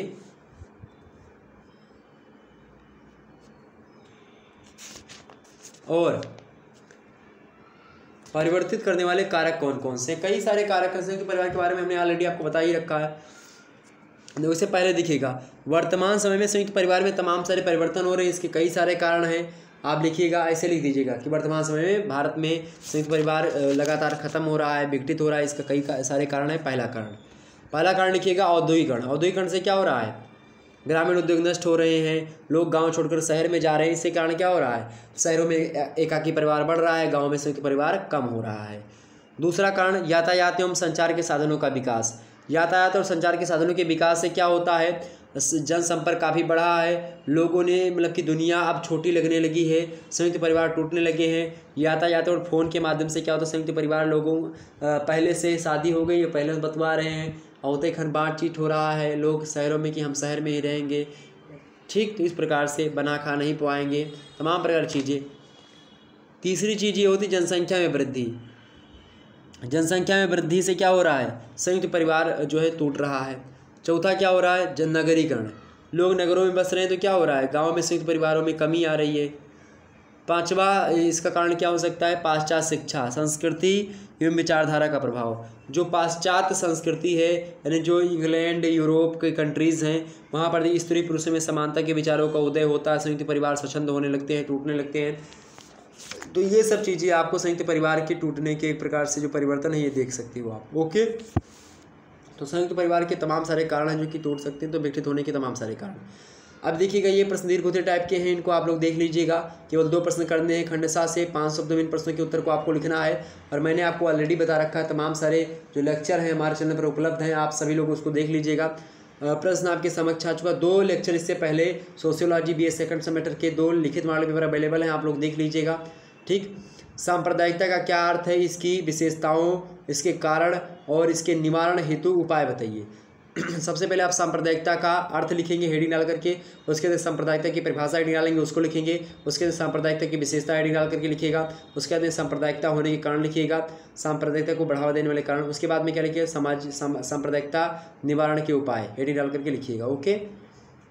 अगला प्रश्न आपके समक्ष है, भारत में अधिक जनसंख्या के क्या कारण है? फटाफट से बताने का प्रयास करेंगे, भारत में अधिक जनसंख्या के क्या कारण है? अधिक जनसंख्या के क्या परिणाम हैं, बताइए। फटाफट से बताने का प्रयास करेंगे मोस्ट इंपॉर्टेंट प्रश्न आपकी परीक्षा की दृष्टि से। तो भारत में अधिक जनसंख्या कई सारे कारण है भाई, इसको तो मैंने आपको बता ही दिया था ओके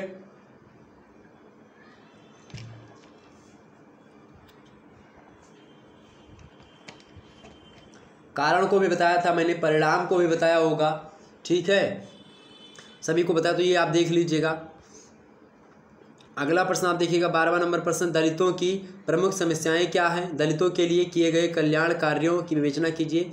मोस्ट इम्पोर्टेंट प्रश्न ये भी आ सकता है। अल्पसंख्यकों को लेकर के प्रश्न ज़रूर आ सकता हो सकता है। अगला प्रश्न देखिएगा।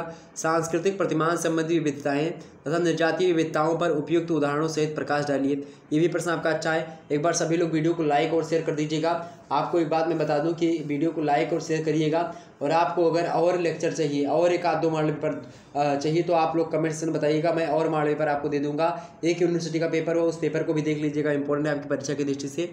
अगला प्रश्न देखिएगा, ग्राम एवं गाँव से आप क्या समझते हैं? गाँव के महत्व का प्रतिपादन कीजिए। मोस्ट इंपॉर्टेंट प्रश्न एग्ज़ाम में आ सकता है। आप देखिएगा फ़र्स्ट ईयर एंड हेल्थ का रात आठ बजे से क्लास हो रही थी, आप लोगों ने देखा होगा। ये कल हुई थी क्लास ये फ़र्स्ट क्लास थी इसकी। और आज क्या होगी? सेकंड क्लास आपकी हो गई है, आप लोग देख लीजिएगा। आज सेकंड क्लास आठ बजे से हो गई है और ये फ़र्स्ट क्लास कल ही हो गई थी। रात के नौ बजे से तो आप लोग इसको देख लीजिएगा। मोस्ट इंपॉर्टेंट है B A B S C सभी के लिए महत्वपूर्ण है। ओके और अगला प्रश्न आप देखिएगा बी ए सेकंड सेमेस्टर को लेकर के ललित कला जिन छात्र छात्राओं का, उन देख लीजिएगा फंडामेंटल आर्ट्स इसका लिखित मॉडल पेपर अवेलेबल हो चुका है, आप लोग इस वीडियो को देख लीजिएगा मोस्ट इंपॉर्टेंट है। मिलते हैं फिर नेक्स्ट वीडियो तब तक के लिए जय हिंद, जय भारत, आप सभी का बहुत बहुत धन्यवाद हमारे से जुड़ने के लिए। इसी प्रकार से अपना प्यार हमेशा से बनाए रखिएगा बहुत बहुत धन्यवाद आप सभी का बहुत बहुत धन्यवाद। Good night